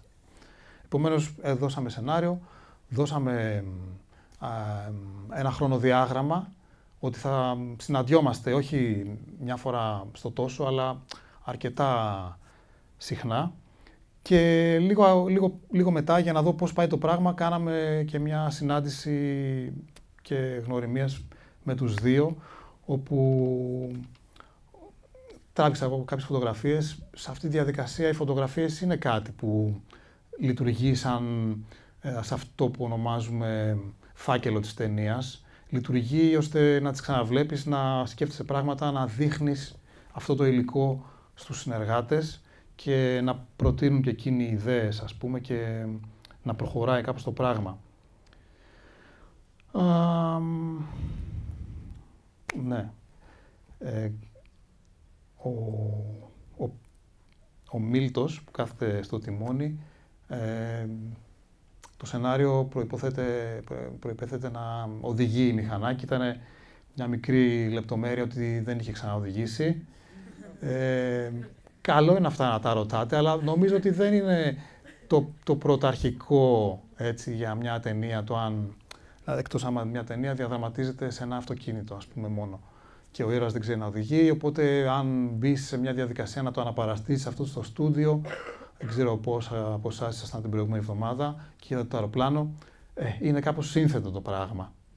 Ε, να κάνεις μια αναπαράσταση. Τέλος πάντων, ε, κάναμε κάποια μαθήματα με τον Μίλτο, σε αυτό που θέλαμε να δείξει ότι το έκανε καλά, ας πούμε, ότι οδηγεί το μηχανάκι.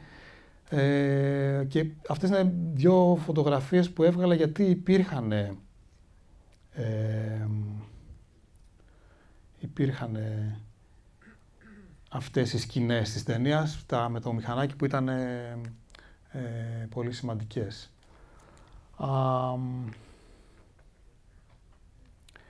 ένας άνθρωπος, οπότε κάπως το λύσαμε το πρόβλημα. Ξεκινήσαμε να δουλεύουμε και πώς ε, δουλεύαμε με αυτούς τους δύο; Μένω λίγο περισσότερο στο θέμα της συνεργασίας με τους ερασιτέχνες, γιατί ήταν κάτι που ε, ήταν και για μένα αρκετά καινούριο, με την έννοια ότι τελειώντας το τμήμα κινηματογράφου ε, είχα έτσι όρεξη και η πρώτη μου ταινία έγινε με ε, νέους αλλά επαγγελματίες ηθοποιούς και είχα κάπως έτσι ένα τρόπο δουλειά στο μυαλό μου ε, που η συνεργασία και η προσφορά του επαγγελματία, του ειδικού της υποκριτικής ε, θεωρούσα ότι είναι πάρα πολύ σημαντική, σημαντικό ας πούμε αποκούμπι για τη δουλειά μου.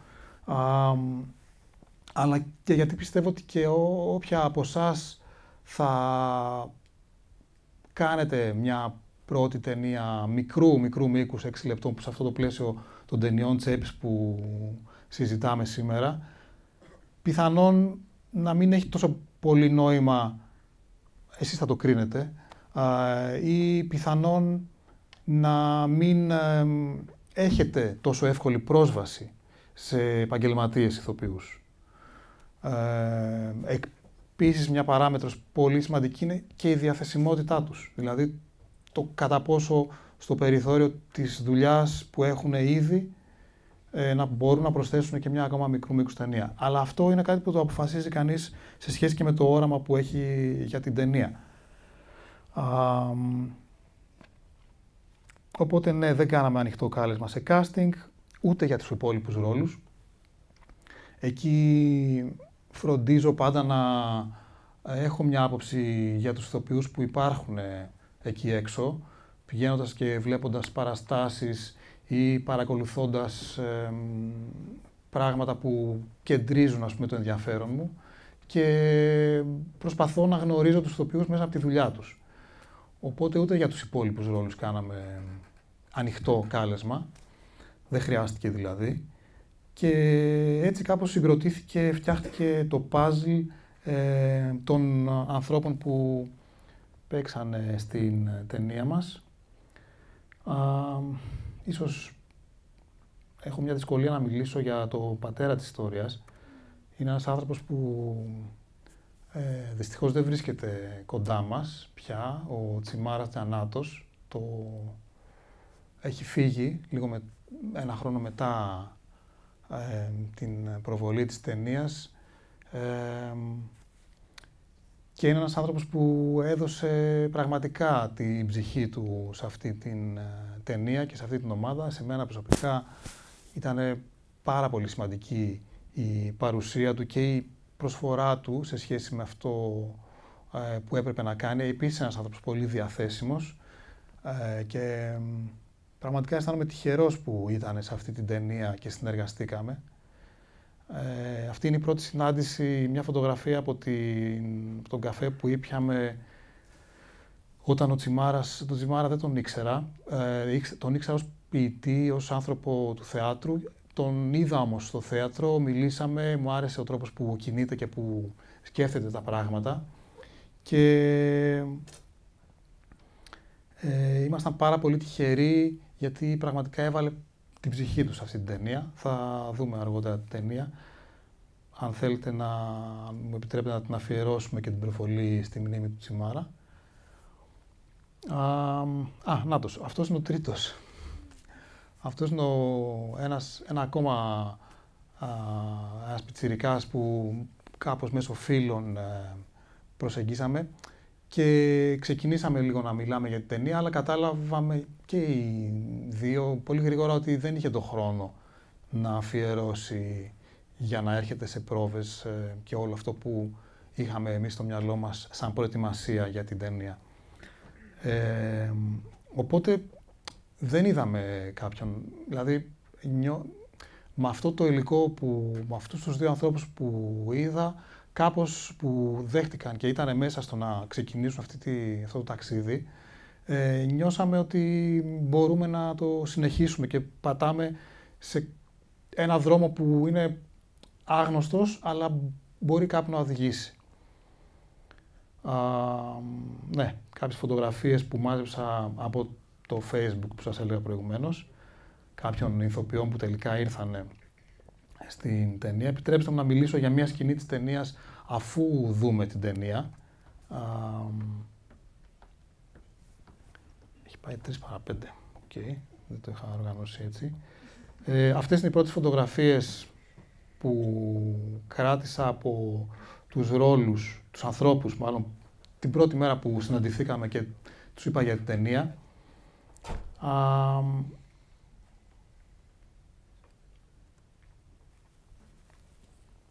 ωραία. Και πάμε να ξεκινήσουμε τώρα τη δουλειά με τους ηθοποιούς.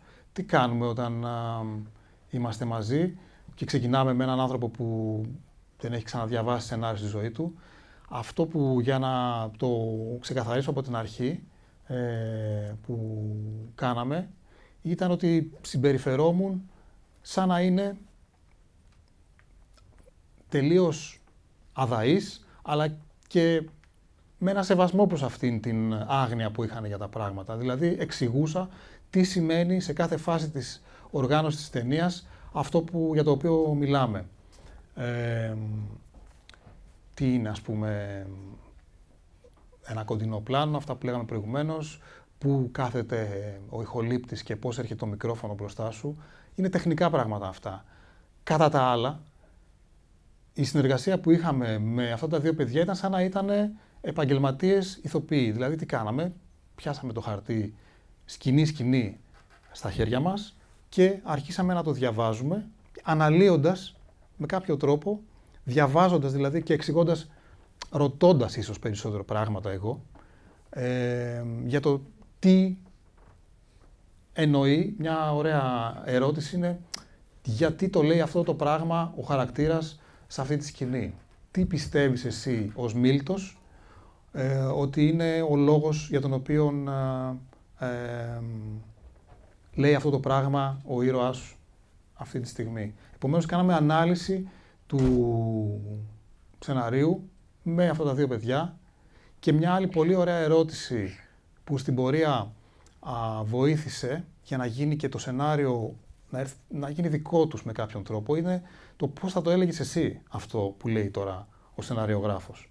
Πώς το καταλαβαίνει, τι εννοεί, OK, okay, συμφωνούμε ότι αυτό εννοεί, ναι, αυτό που λες εννοεί, αλλά εσύ πώς θα το έλεγες ως ε, Χρήστος ή ως Μίλτος στην καθημερινή σου ζωή; Και άρχισαν να μπαίνουν εκφράσεις και λόγια που και εγώ έφερνα, αλλά και κατέγραφα και σημείωνα σε σχέση με τον τρόπο που μιλάει κάποιος, με τον τρόπο που εκφέρει το, το λόγο ή με τις λέξεις που χρησιμοποιεί. Ναι, στο μικρόφωνο αν θέλετε.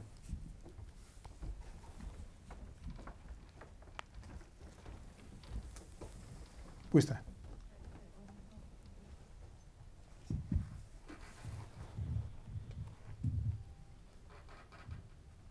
Νομίζω είπατε προηγουμένως ότι πολλές φορές ένας άνθρωπος όταν έχει περάσει από κάποιο είδους εκπαίδευση θεατρική, να έχει δηλαδή συμμετάσχει σε, σε κάποια θεατρική ομάδα, ότι μπορεί να σταθεί εμπόδιο, κάποια πράγματα να σταθούν εμπόδιο, ε, ναι. Να το εξηγήσω. Ναι. Ε, ε, με κάθε επιφύλαξη το λέω. Υπάρχει, ε, υπάρχει ένας τρόπος που κάποιος έχει μάθει και τον φέρνει αυτόν τον τρόπο στη συνεργασία μεταξύ μας. Ε, και το γεγονός ότι δεν ε, έχει, ας πούμε, μεγάλη τριβή, είναι σαν να μαθαίνουμε έναν τρόπο για να κάνουμε μια σχολική παράσταση, να κάνουμε μια παράσταση ε, ε, εφήβων. Και πιθανόν ο τρόπος, πάντα με πιθανότητες μιλάμε και με ενδεχόμενα, γι' αυτό το λέω με επιφύλαξη. Πιθανότατα ο τρόπος ε, με τον οποίο διδάσκονται τα παιδιά μας στο θέατρο, το θέατρο, το θέατρο, γιατί είναι θέατρο, δεν είναι κινηματογράφος, είναι λίγο, λίγο διαφορετικό, ελαφρώς διαφορετική η σχέση, ας πούμε. Ε, το τρόπος που διδάσκονται το θέατρο, σε αυτή την ε, έτσι, τρυφερή που λέμε συνήθως ηλικία, μπορεί να, α, αντί να ανοίξει το παιδί τη, τη διαθεσιμότητά του, τον τρόπο που να διαχειρίζεται τα εκφραστικά του εργαλεία, το, την απλότητά του ίσως, να περιπλέξει το, το τι είναι υποκριτική στο μυαλό του. Ότι βάλετε κάτι δηλαδή, χωρίς να Ε, ε, θέσει το παιδί στο παιδί. Ναι. Ε, αυτό που μας ενδιαφέρει είναι η αυθεντικότητα και η αθωότητα και η αμεσότητα ενός ανθρώπου που μπορεί και να μην, έχει, να μην το έχει περάσει ποτέ από το μυαλό ότι θα ερμηνεύσει κάποιον ρόλο. Επομένως, το να έχει μπει κάποιος σε μια διαδικασία για μια-δυο φορές στη ζωή του, σε ένα ας πούμε πλαίσιο που μπορεί να είναι λειτουργικό, μπορεί και όχι, μπορεί να είναι ε, εμπόδιο τελικά. Α, ευ, εύχομαι και ελπίζω να αλλάζουν τα πράγματα. Όταν ήμουν εγώ στο σχολείο ήταν πολύ ε, κλεισαρισμένα, κλειστά, κλειστό το, το θέμα της ε, θεατρικής ε, παράστασης, ας πούμε. Ήταν κάπως με άσχημο τρόπο, ε, κουμπωμένα σώματα που δεν επικοινωνούσαν και δεν λειτουργούσαν την πραγματικότητα και την αλήθεια τους. Σίγουρα αλλάζουν αυτά τα πράγματα με τον καιρό, αλλά α, ε, εκφράζω απλώς αυτή την, ε, ε, ανησ- την, ε, την ε, ας πούμε, το, μικρή ε, ένσταση, ναι, επιφύλαξη. Το ίδιο και με τις θεατρικές, ε, τις δραματικές σχολές. Ε, είχα κάπως έτσι στο μυαλό μου ε, ότι είναι δύσκολο να βρεις ένα άτομο αυτού του προφίλ σε μια θεατρική σχολή, γιατί πιθανότατα να μην τον ενδιαφέρει το θέατρο. Τόσο απλά. Είναι και λίγο ταξικό ζήτημα το αν κάποιο παιδί από αυτές τις συνοικίες της Δυτικής Αθήνας, ας πούμε, της ε, Θεσσαλονίκης, τα λαϊκά στρώματα θα, α, θα έχει κάποια βιώματα, γιατί ουσιαστικά στα βιώματα και στις ε, εμπειρίες τους ε, και στην φυσικότητα και στην αλήθεια τους ε, πατήσαμε για να φτιάξουμε μαζί τους ε, χαρακτήρες της ταινίας. Α, αυτό έτσι, καλά κάνατε που το επαναφέρατε και το ξεκαθαρίσαμε. Ε, οπότε μπήκαμε σε μια διαδικασία όπως θα κάναμε σε με οποιονδήποτε ηθοποιό, ανάλυση του κειμένου, γιατί το λέει αυτό, τι εννοεί, τι θα μπορούσες να πεις με δικά σου λόγια. Και το διαβάσαμε, το αναλύσαμε το σενάριο, κατά μόνας πρώτα, δηλαδή όσο μπορούσε ο καθένας, έκανα εγώ ραντεβού μαζί με τον καθένα τους, μετά άρχισαμε να μεγαλώνει η ομάδα, Υπάρχουν και κάποιες ομαδικές σκηνές που πλέον είχε μεγαλώσει αρκετά και εκεί. Μ, για να γίνει πιο φυσική ή και πιο ζωντανή μια σκηνή ε, τους άφησα και τους κατήφθηνα αλλά και τους άφησα να αυτοσχεδιάσουν και να πούνε πράγματα που θα βοηθήσουν να ανοίξει το σενάριο και να γίνει πάλι δικό τους να παίξουμε δηλαδή λίγο με τα λόγια του κειμένου μέσα σε αυτό το πλαίσιο ας πούμε, που μας δίνεται. Α,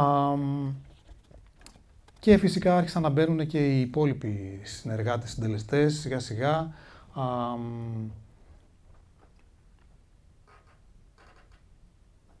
Να δούμε κάποιες φωτογραφίες, ίσως... Βοηθάει πάρα πολύ σε αυτή τη φάση στην οποία βρισκόμαστε η, αφού έτσι κι αλλιώς θα γυρίσετε με κινητό την ταινία σας, θα σας πρότεινα να κινηματογραφείτε και όλα τις πρόβες που κάνετε. Δηλαδή, να τις δείτε στο χώρο. Και εκεί είτε μπορεί να λειτουργήσει ε, αυτό που λέμε, συγγνώμη, είτε μπορεί να λειτουργήσει αυτό που λέγαμε προηγουμένως, α, το πώς έχεις φανταστεί από την αρχή αυτή τη στιγμή στην ταινία, ή μπορεί να αφήσεις το κινητό σου να κινηθείς ε, σε αυτό που είναι η παρόρμησή σου την ώρα που βλέπεις να συμβαίνει, να πας μακριά ή κοντά στους χαρακτήρες, να τους ε, δώσεις κάποιες τεχνικές οδηγίες από πού μπαίνω, από πού βγαίνω, από πού έρχομαι ή να τους αφήσεις να προτείνουν δικά τους ε, πράγματα από την αρχή. Α, εδώ είναι μια από τις τελευταίες πρόβες που κάναμε στο χώρο της, ε, που γυρίστηκε το, η ταινία.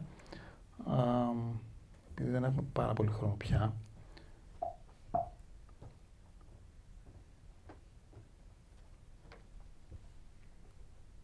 Ίσως έχει νόημα να δούμε την ταινία, η οποία κρατάει 18 λεπτά και να επανέλθουμε λίγο σε μια ανάλυση, σε ερωτήσεις που θα έχετε να κάνετε ε,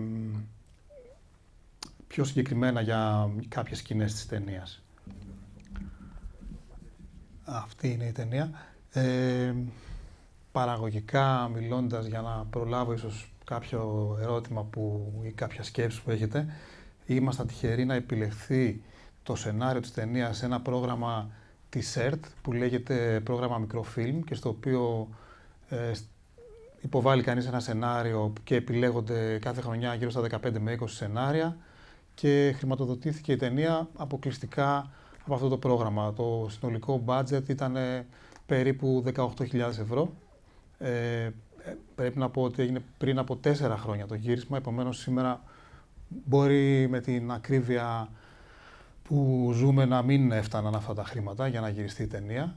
Πάντως το 19 ήρθαν οριακά, είναι πάλι λίγα χρήματα για μια ταινία μικρού μήκους.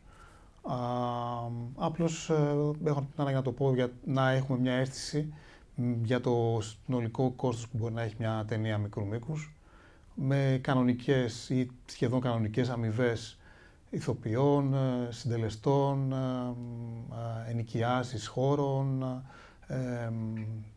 μετακινήσεις, βενζίνες, φαγητό. Είναι κάτι που έχει μια, ας πούμε, τυπική φροντίδα το κινηματογραφικό γύρισμα.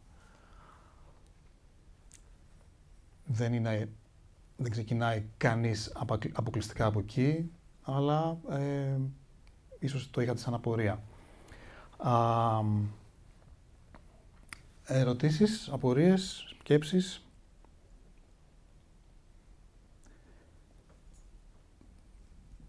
αυτό που ουσιαστικά κάναμε στην ταινία ήταν να προετοιμάσουμε τα δύο παιδιά, αλλά και τους υπόλοιπους ηθοποιούς της ταινίας για αυτό που καταφέραμε να καταγράψουμε μέσα από το φακό της κάμερας. Να τους προετοιμάσουμε στο, να, ε, στο τι θα τους ζητηθεί να γίνει στο γύρισμα. Το ξαναλέω από την αρχή. Ανάγνωση σενάριου, ανάλυση, πώς θα το έλεγες εσύ με δικά σου λόγια. Κάποιες φράσεις κρατήθηκαν στο τελικό σενάριο πάρα πολύ σημαντικό, πιστεύω, είναι να, να μην δείξεις στον ηθοποιό πώς έχεις στο μυαλό σου ότι παίζει αυτός ο χαρακτήρας. Δεν, χρειά, δεν είσαι εκεί για να του πεις κάνω το έτσι ή κάνω λίγο πιο, ε, ξέρω εγώ, ε, στεναχωρεμένος ή λίγο πιο... Το συνέστημα γενικώς είναι ένα θέμα το πώς αποδίδεται στην οθόνη. Μιλήσαμε πάρα πολύ για το τι περνάει από το μυαλό των ηρώων, γιατί μπορεί να λένε αυτά τα λόγια τα οποία λένε στην ταινία, τι μπορεί να είναι το background, ε, τι μπορεί να τους έχει συμβεί σαν προϊστορία στη σχέση του μπαμπά με τον ε, πατέρα του, στη σχέση του με το αφεντικό, στη σχέση τους... Με... Κάναμε δηλαδή έτσι μια, κάποιες σκηνές που δεν ήταν γραμμένα στο σενάριο, ε, που μπορεί να ήταν η πρώτη ε, γνωριμία, ας πούμε. Ε, την πρώτη μέρα στη δουλειά, ο Χρήστος. Ή κάτι που μπορεί να τους βοηθήσει να μπουν λίγο περισσότερο σε βάθος στο χαρακτήρα. Και το, το συνέστημα είναι κάτι που προσπαθούμε να επικοινωνηθεί ε, και να δημιουργηθεί με κάποιον τρόπο στο μυαλό του θεατή. Το τι νιώθει δηλαδή ο ήρωας όταν βλέπουμε μια ταινία το εισπράττουμε κάνοντας και εμείς μια ε, εγκεφαλική ή μια δική μας διαδρομή προς το χαρακτήρα. Καλό είναι δηλαδή να μην τα λέμε όλα αυτά που σκέφτονται οι χαρακτήρες μας εξωτερικά, να μην τα δείχνουμε μάλλον. Αυτό προσπαθήσα να κάνω σαν δουλειά ε, που δεν ήταν και τόσο πολύπλοκο με τα συγκεκριμένα παιδιά. Ήταν απλώς να ξεκλειδώσουμε στο ότι δεν χρειάζεται να κάνουμε κάτι πάντα. Τα συναισθήματα υπάρχουν μέσα στις δράσεις που κάνετε. Στο, στο βλέμμα, ε, στην αποστροφή του βλέμματος, στη γλώσσα του σώματος, στον τρόπο που είναι σφιγμένο ή χαλαρό ένα σώμα, υπάρχει εκεί πέρα μέσα ένα συνέστημα το οποίο ο θεατής θα έρθει να το αναγνωρίσει, να το αισθανθεί, χωρίς να το ονοματίζει τις περισσότερες φορές και να κάνει και ο ίδιος ο θεατής τη δική του διαδρομή ε, στην ταινία. Αυτές είναι οι ταινίες που εμένα προσωπικά μου αρέσει να βλέπω.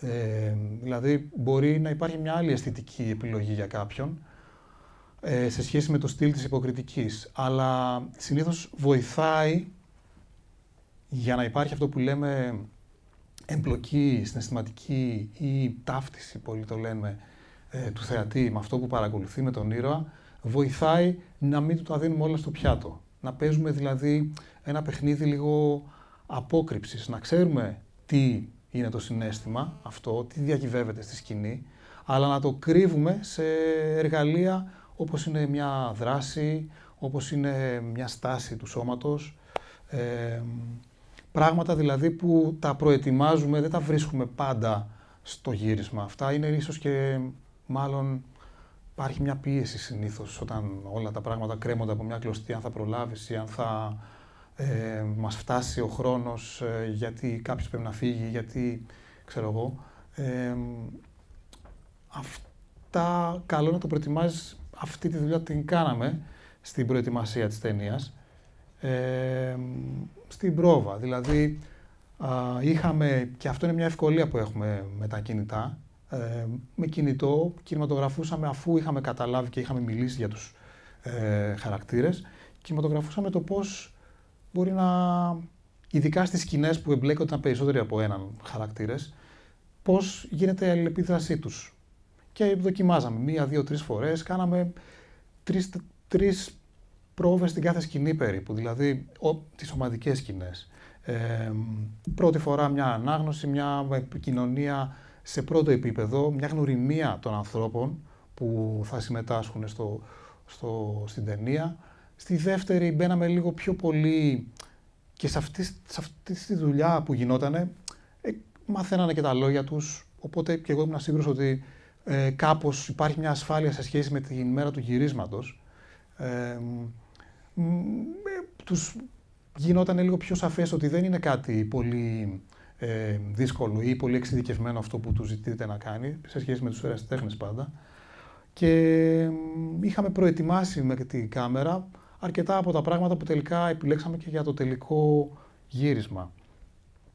Α, ας δούμε κάτι σε σχέση με αυτό. Ε, ορίστε.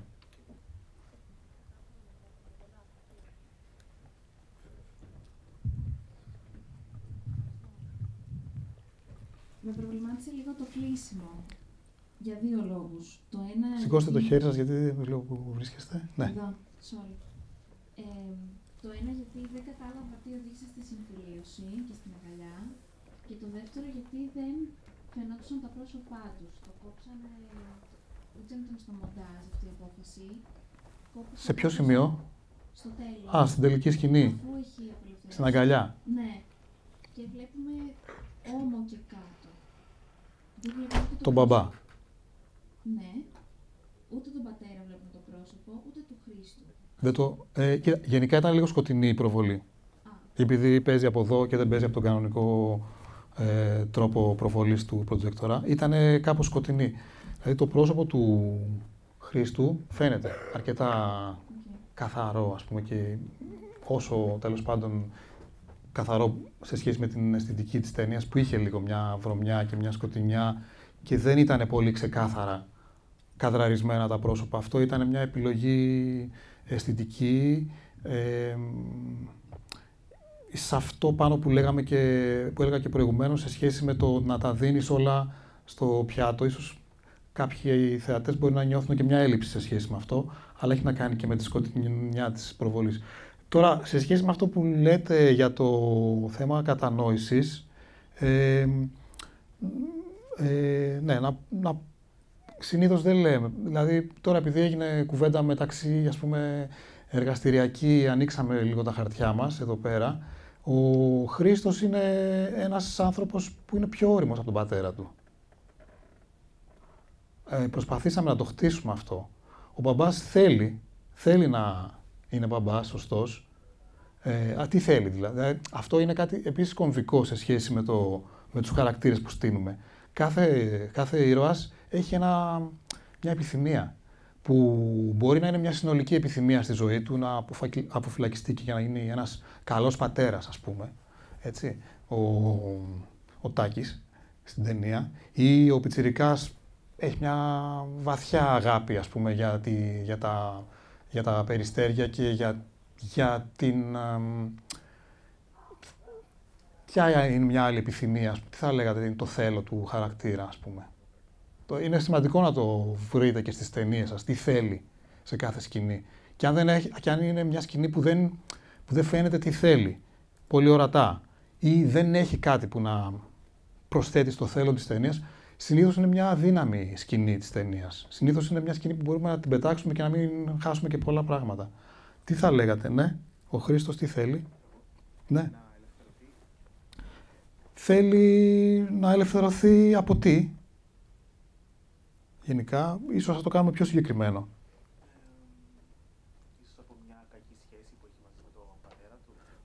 Έχει μια, είναι μέσα σε μια οικογένεια,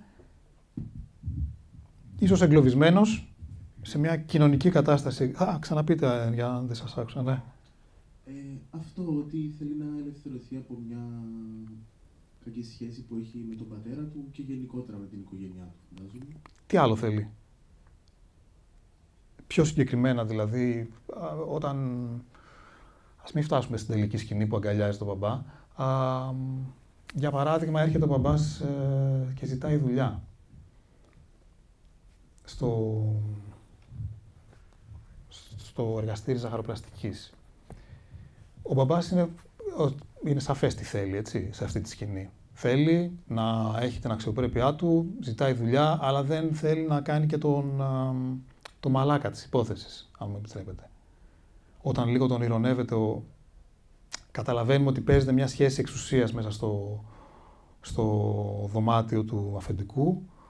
Ένας, υπάρχει ένα στάτους που είναι ψηλότερα το αφεντικό σε σχέση με τον μπαμπά, οπότε εκεί δεν καταφέρνει, δεν ξέρει τον τρόπο να επιστρέψει στην κοινωνία. Μπορεί να θέλει, αλλά δεν τα καταφέρνει. Και ουσιαστικά ο, και διώχνει τα πουλιά, ίσως θα έλεγε κανείς γιατί θέλει να τα ελευθερώσει, αλλά γιατί θέλει να κάνει κουμάντι και στο σπίτι του. Α, στο γιο του και στην οικογένειά του. Γύρισα, είμαι εδώ. Έτσι. Ε, είναι αυτό που θέλει. Πιθανόν να, να, καταλαβαίνει και το γιο του που έρχεται και που τα παίρνει μαζί του, ας πούμε. Αλλά είναι ένας χαρακτήρας που είναι δύσκολο να αλλάξει, να εκπληρώσει το θέλω του. Ο Χρήστος, από την άλλη μεριά, θέλει να ξεφύγει από αυτή την κατάσταση, θα λέει κανείς. Θέλει να, ε, να κουμαντάρει, να πάρει τη ζωή στα χέρια του και αυτός μέσα από τις τυκλοποδιές της οικογένειας, της κατάστασης, της ταξικής του προέλευσης, ε, έχει δυσκολίες. Κάθε, ε, σε κάθε σκηνή ακόμα και μεγαλύτερη, μεγαλύτερα και πιο σημαντικά εμπόδια τι, το, τι, τι τον κάνει να αποδεχτεί ίσως τον πατέρα του; Ε, αλλάζει, δηλαδή μέσα στην ιστορία ο Χρήστος. Ίσως, ίσως δεν αλλάζει και πολύ. Δηλαδή σε μια μικρού μήκους ταινία πιθανόν να μην, έχει αλλα... να μην έχει συμβεί μια τεράστια μεταστροφή. Θα έλεγα για να σας απαντήσω λίγο γρήγορα, ίσως και βιαστικά. έχω την εντύπωση ότι ο Χρήστος από την αρχή με το που γυρίζει ο μπαμπάς από, το, από τη φυλακή, ας πούμε, ίσως από την αρχή έχει μια δυσκολία να διαχειριστεί την κατάσταση και ξέρει ότι κάτι θα πάει στραβά. Αλλά θέλει με κάποιον τρόπο από την αρχή να πάει με τα νερά του μπαμπά. Ο μπαμπά δεν ξέρω αν θυμάστε μια σκηνή, γυρίζει μετά από το φαγητό, τρώνε κάτι φακές στο σπίτι του φίλου του Πάνου και γυρίζει μετά, αργά βέβαια, έχει καθυστερήσει, δεν έχει έρθει να φτιάξει, να συγυρίσει το σπίτι. Ε, και εδώ είναι στοιχεία που βοηθάνε αρκετές φορές στο σενάριο. Δηλαδή, δεν είναι ένα τυπικό καλό παιδί ο Χρήστος. Υπάρχουν και σε αυτό το χαρακτήρα κάποιες αντιφάσεις.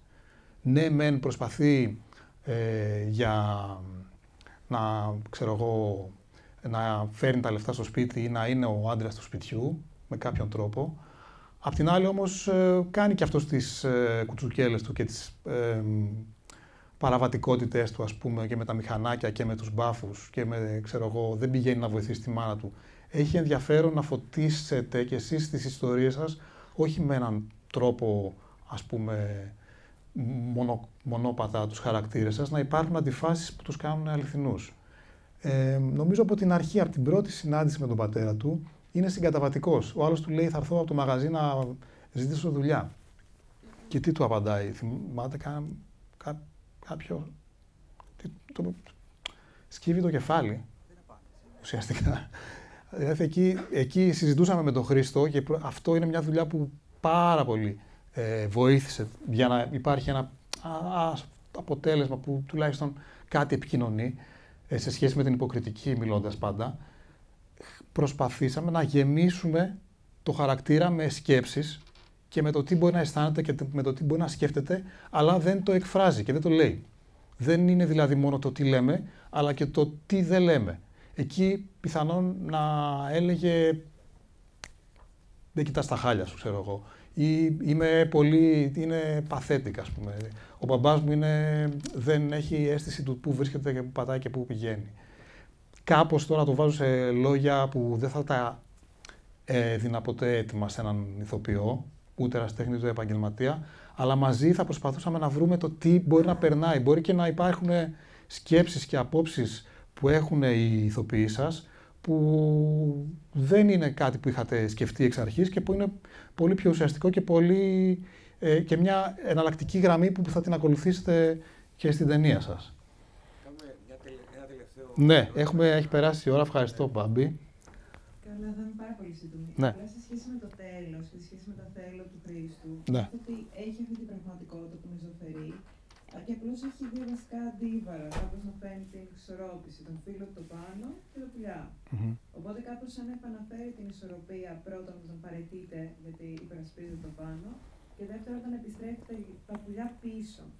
Κάπως νιώθω ότι η αγκαλιά κόλλησε έτσι ότι, οκ, τώρα είμαστε πάτσι και είμαι οκ με αυτό γιατί πάλι πίσω έχω αυτή την ισορροπία. Και σε σχέση με κάτι που μου έχει μείνει πάρα πολύ σαν ατάκα από την ταινία και δεν ξέρω, νιώθω ότι είναι από πίσω από κάθε σκηνή είναι αυτό το ότι όταν είσαι εργάτης δεν μπορείς κάπως.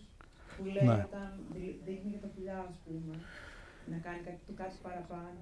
Ναι, είναι μια φράση Ήταν που οδός, πίσω από όλα. Από κάθε του κίνηση την ένιωθα. πιθανόν, ναι.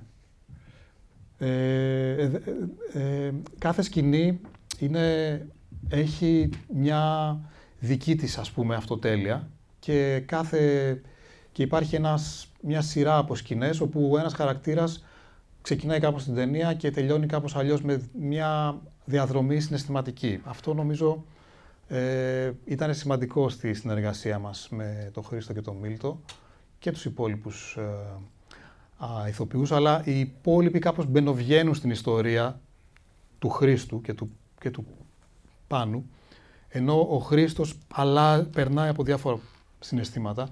Είναι σημαντικό να υπενθυμίζουμε στους ηθοποιούς μας πώς ξεκινάει μια σκηνή, από πού έρχονται, βασικά από πού έρχονται, με τι φορτίο συναισθηματικό έρχονται, πώς μπαίνουν σε αυτή τη σκηνή, τι έχει προηγηθεί και πιθανότατα που θα βγει και μετά. Το που θα βγει και μετά ίσως δεν ενδιαφέρει τόσο πολύ, αλλά αυτό που λέμε συναισθηματικό ρακόρ, δηλαδή το πώς α, είναι το ταξίδι του ήρωα στην ταινία, ε, είναι πάρα πολύ σημαντικό, ειδικά σε ανθρώπους που είναι στο ξεκίνημα σαν ηθοποιοί.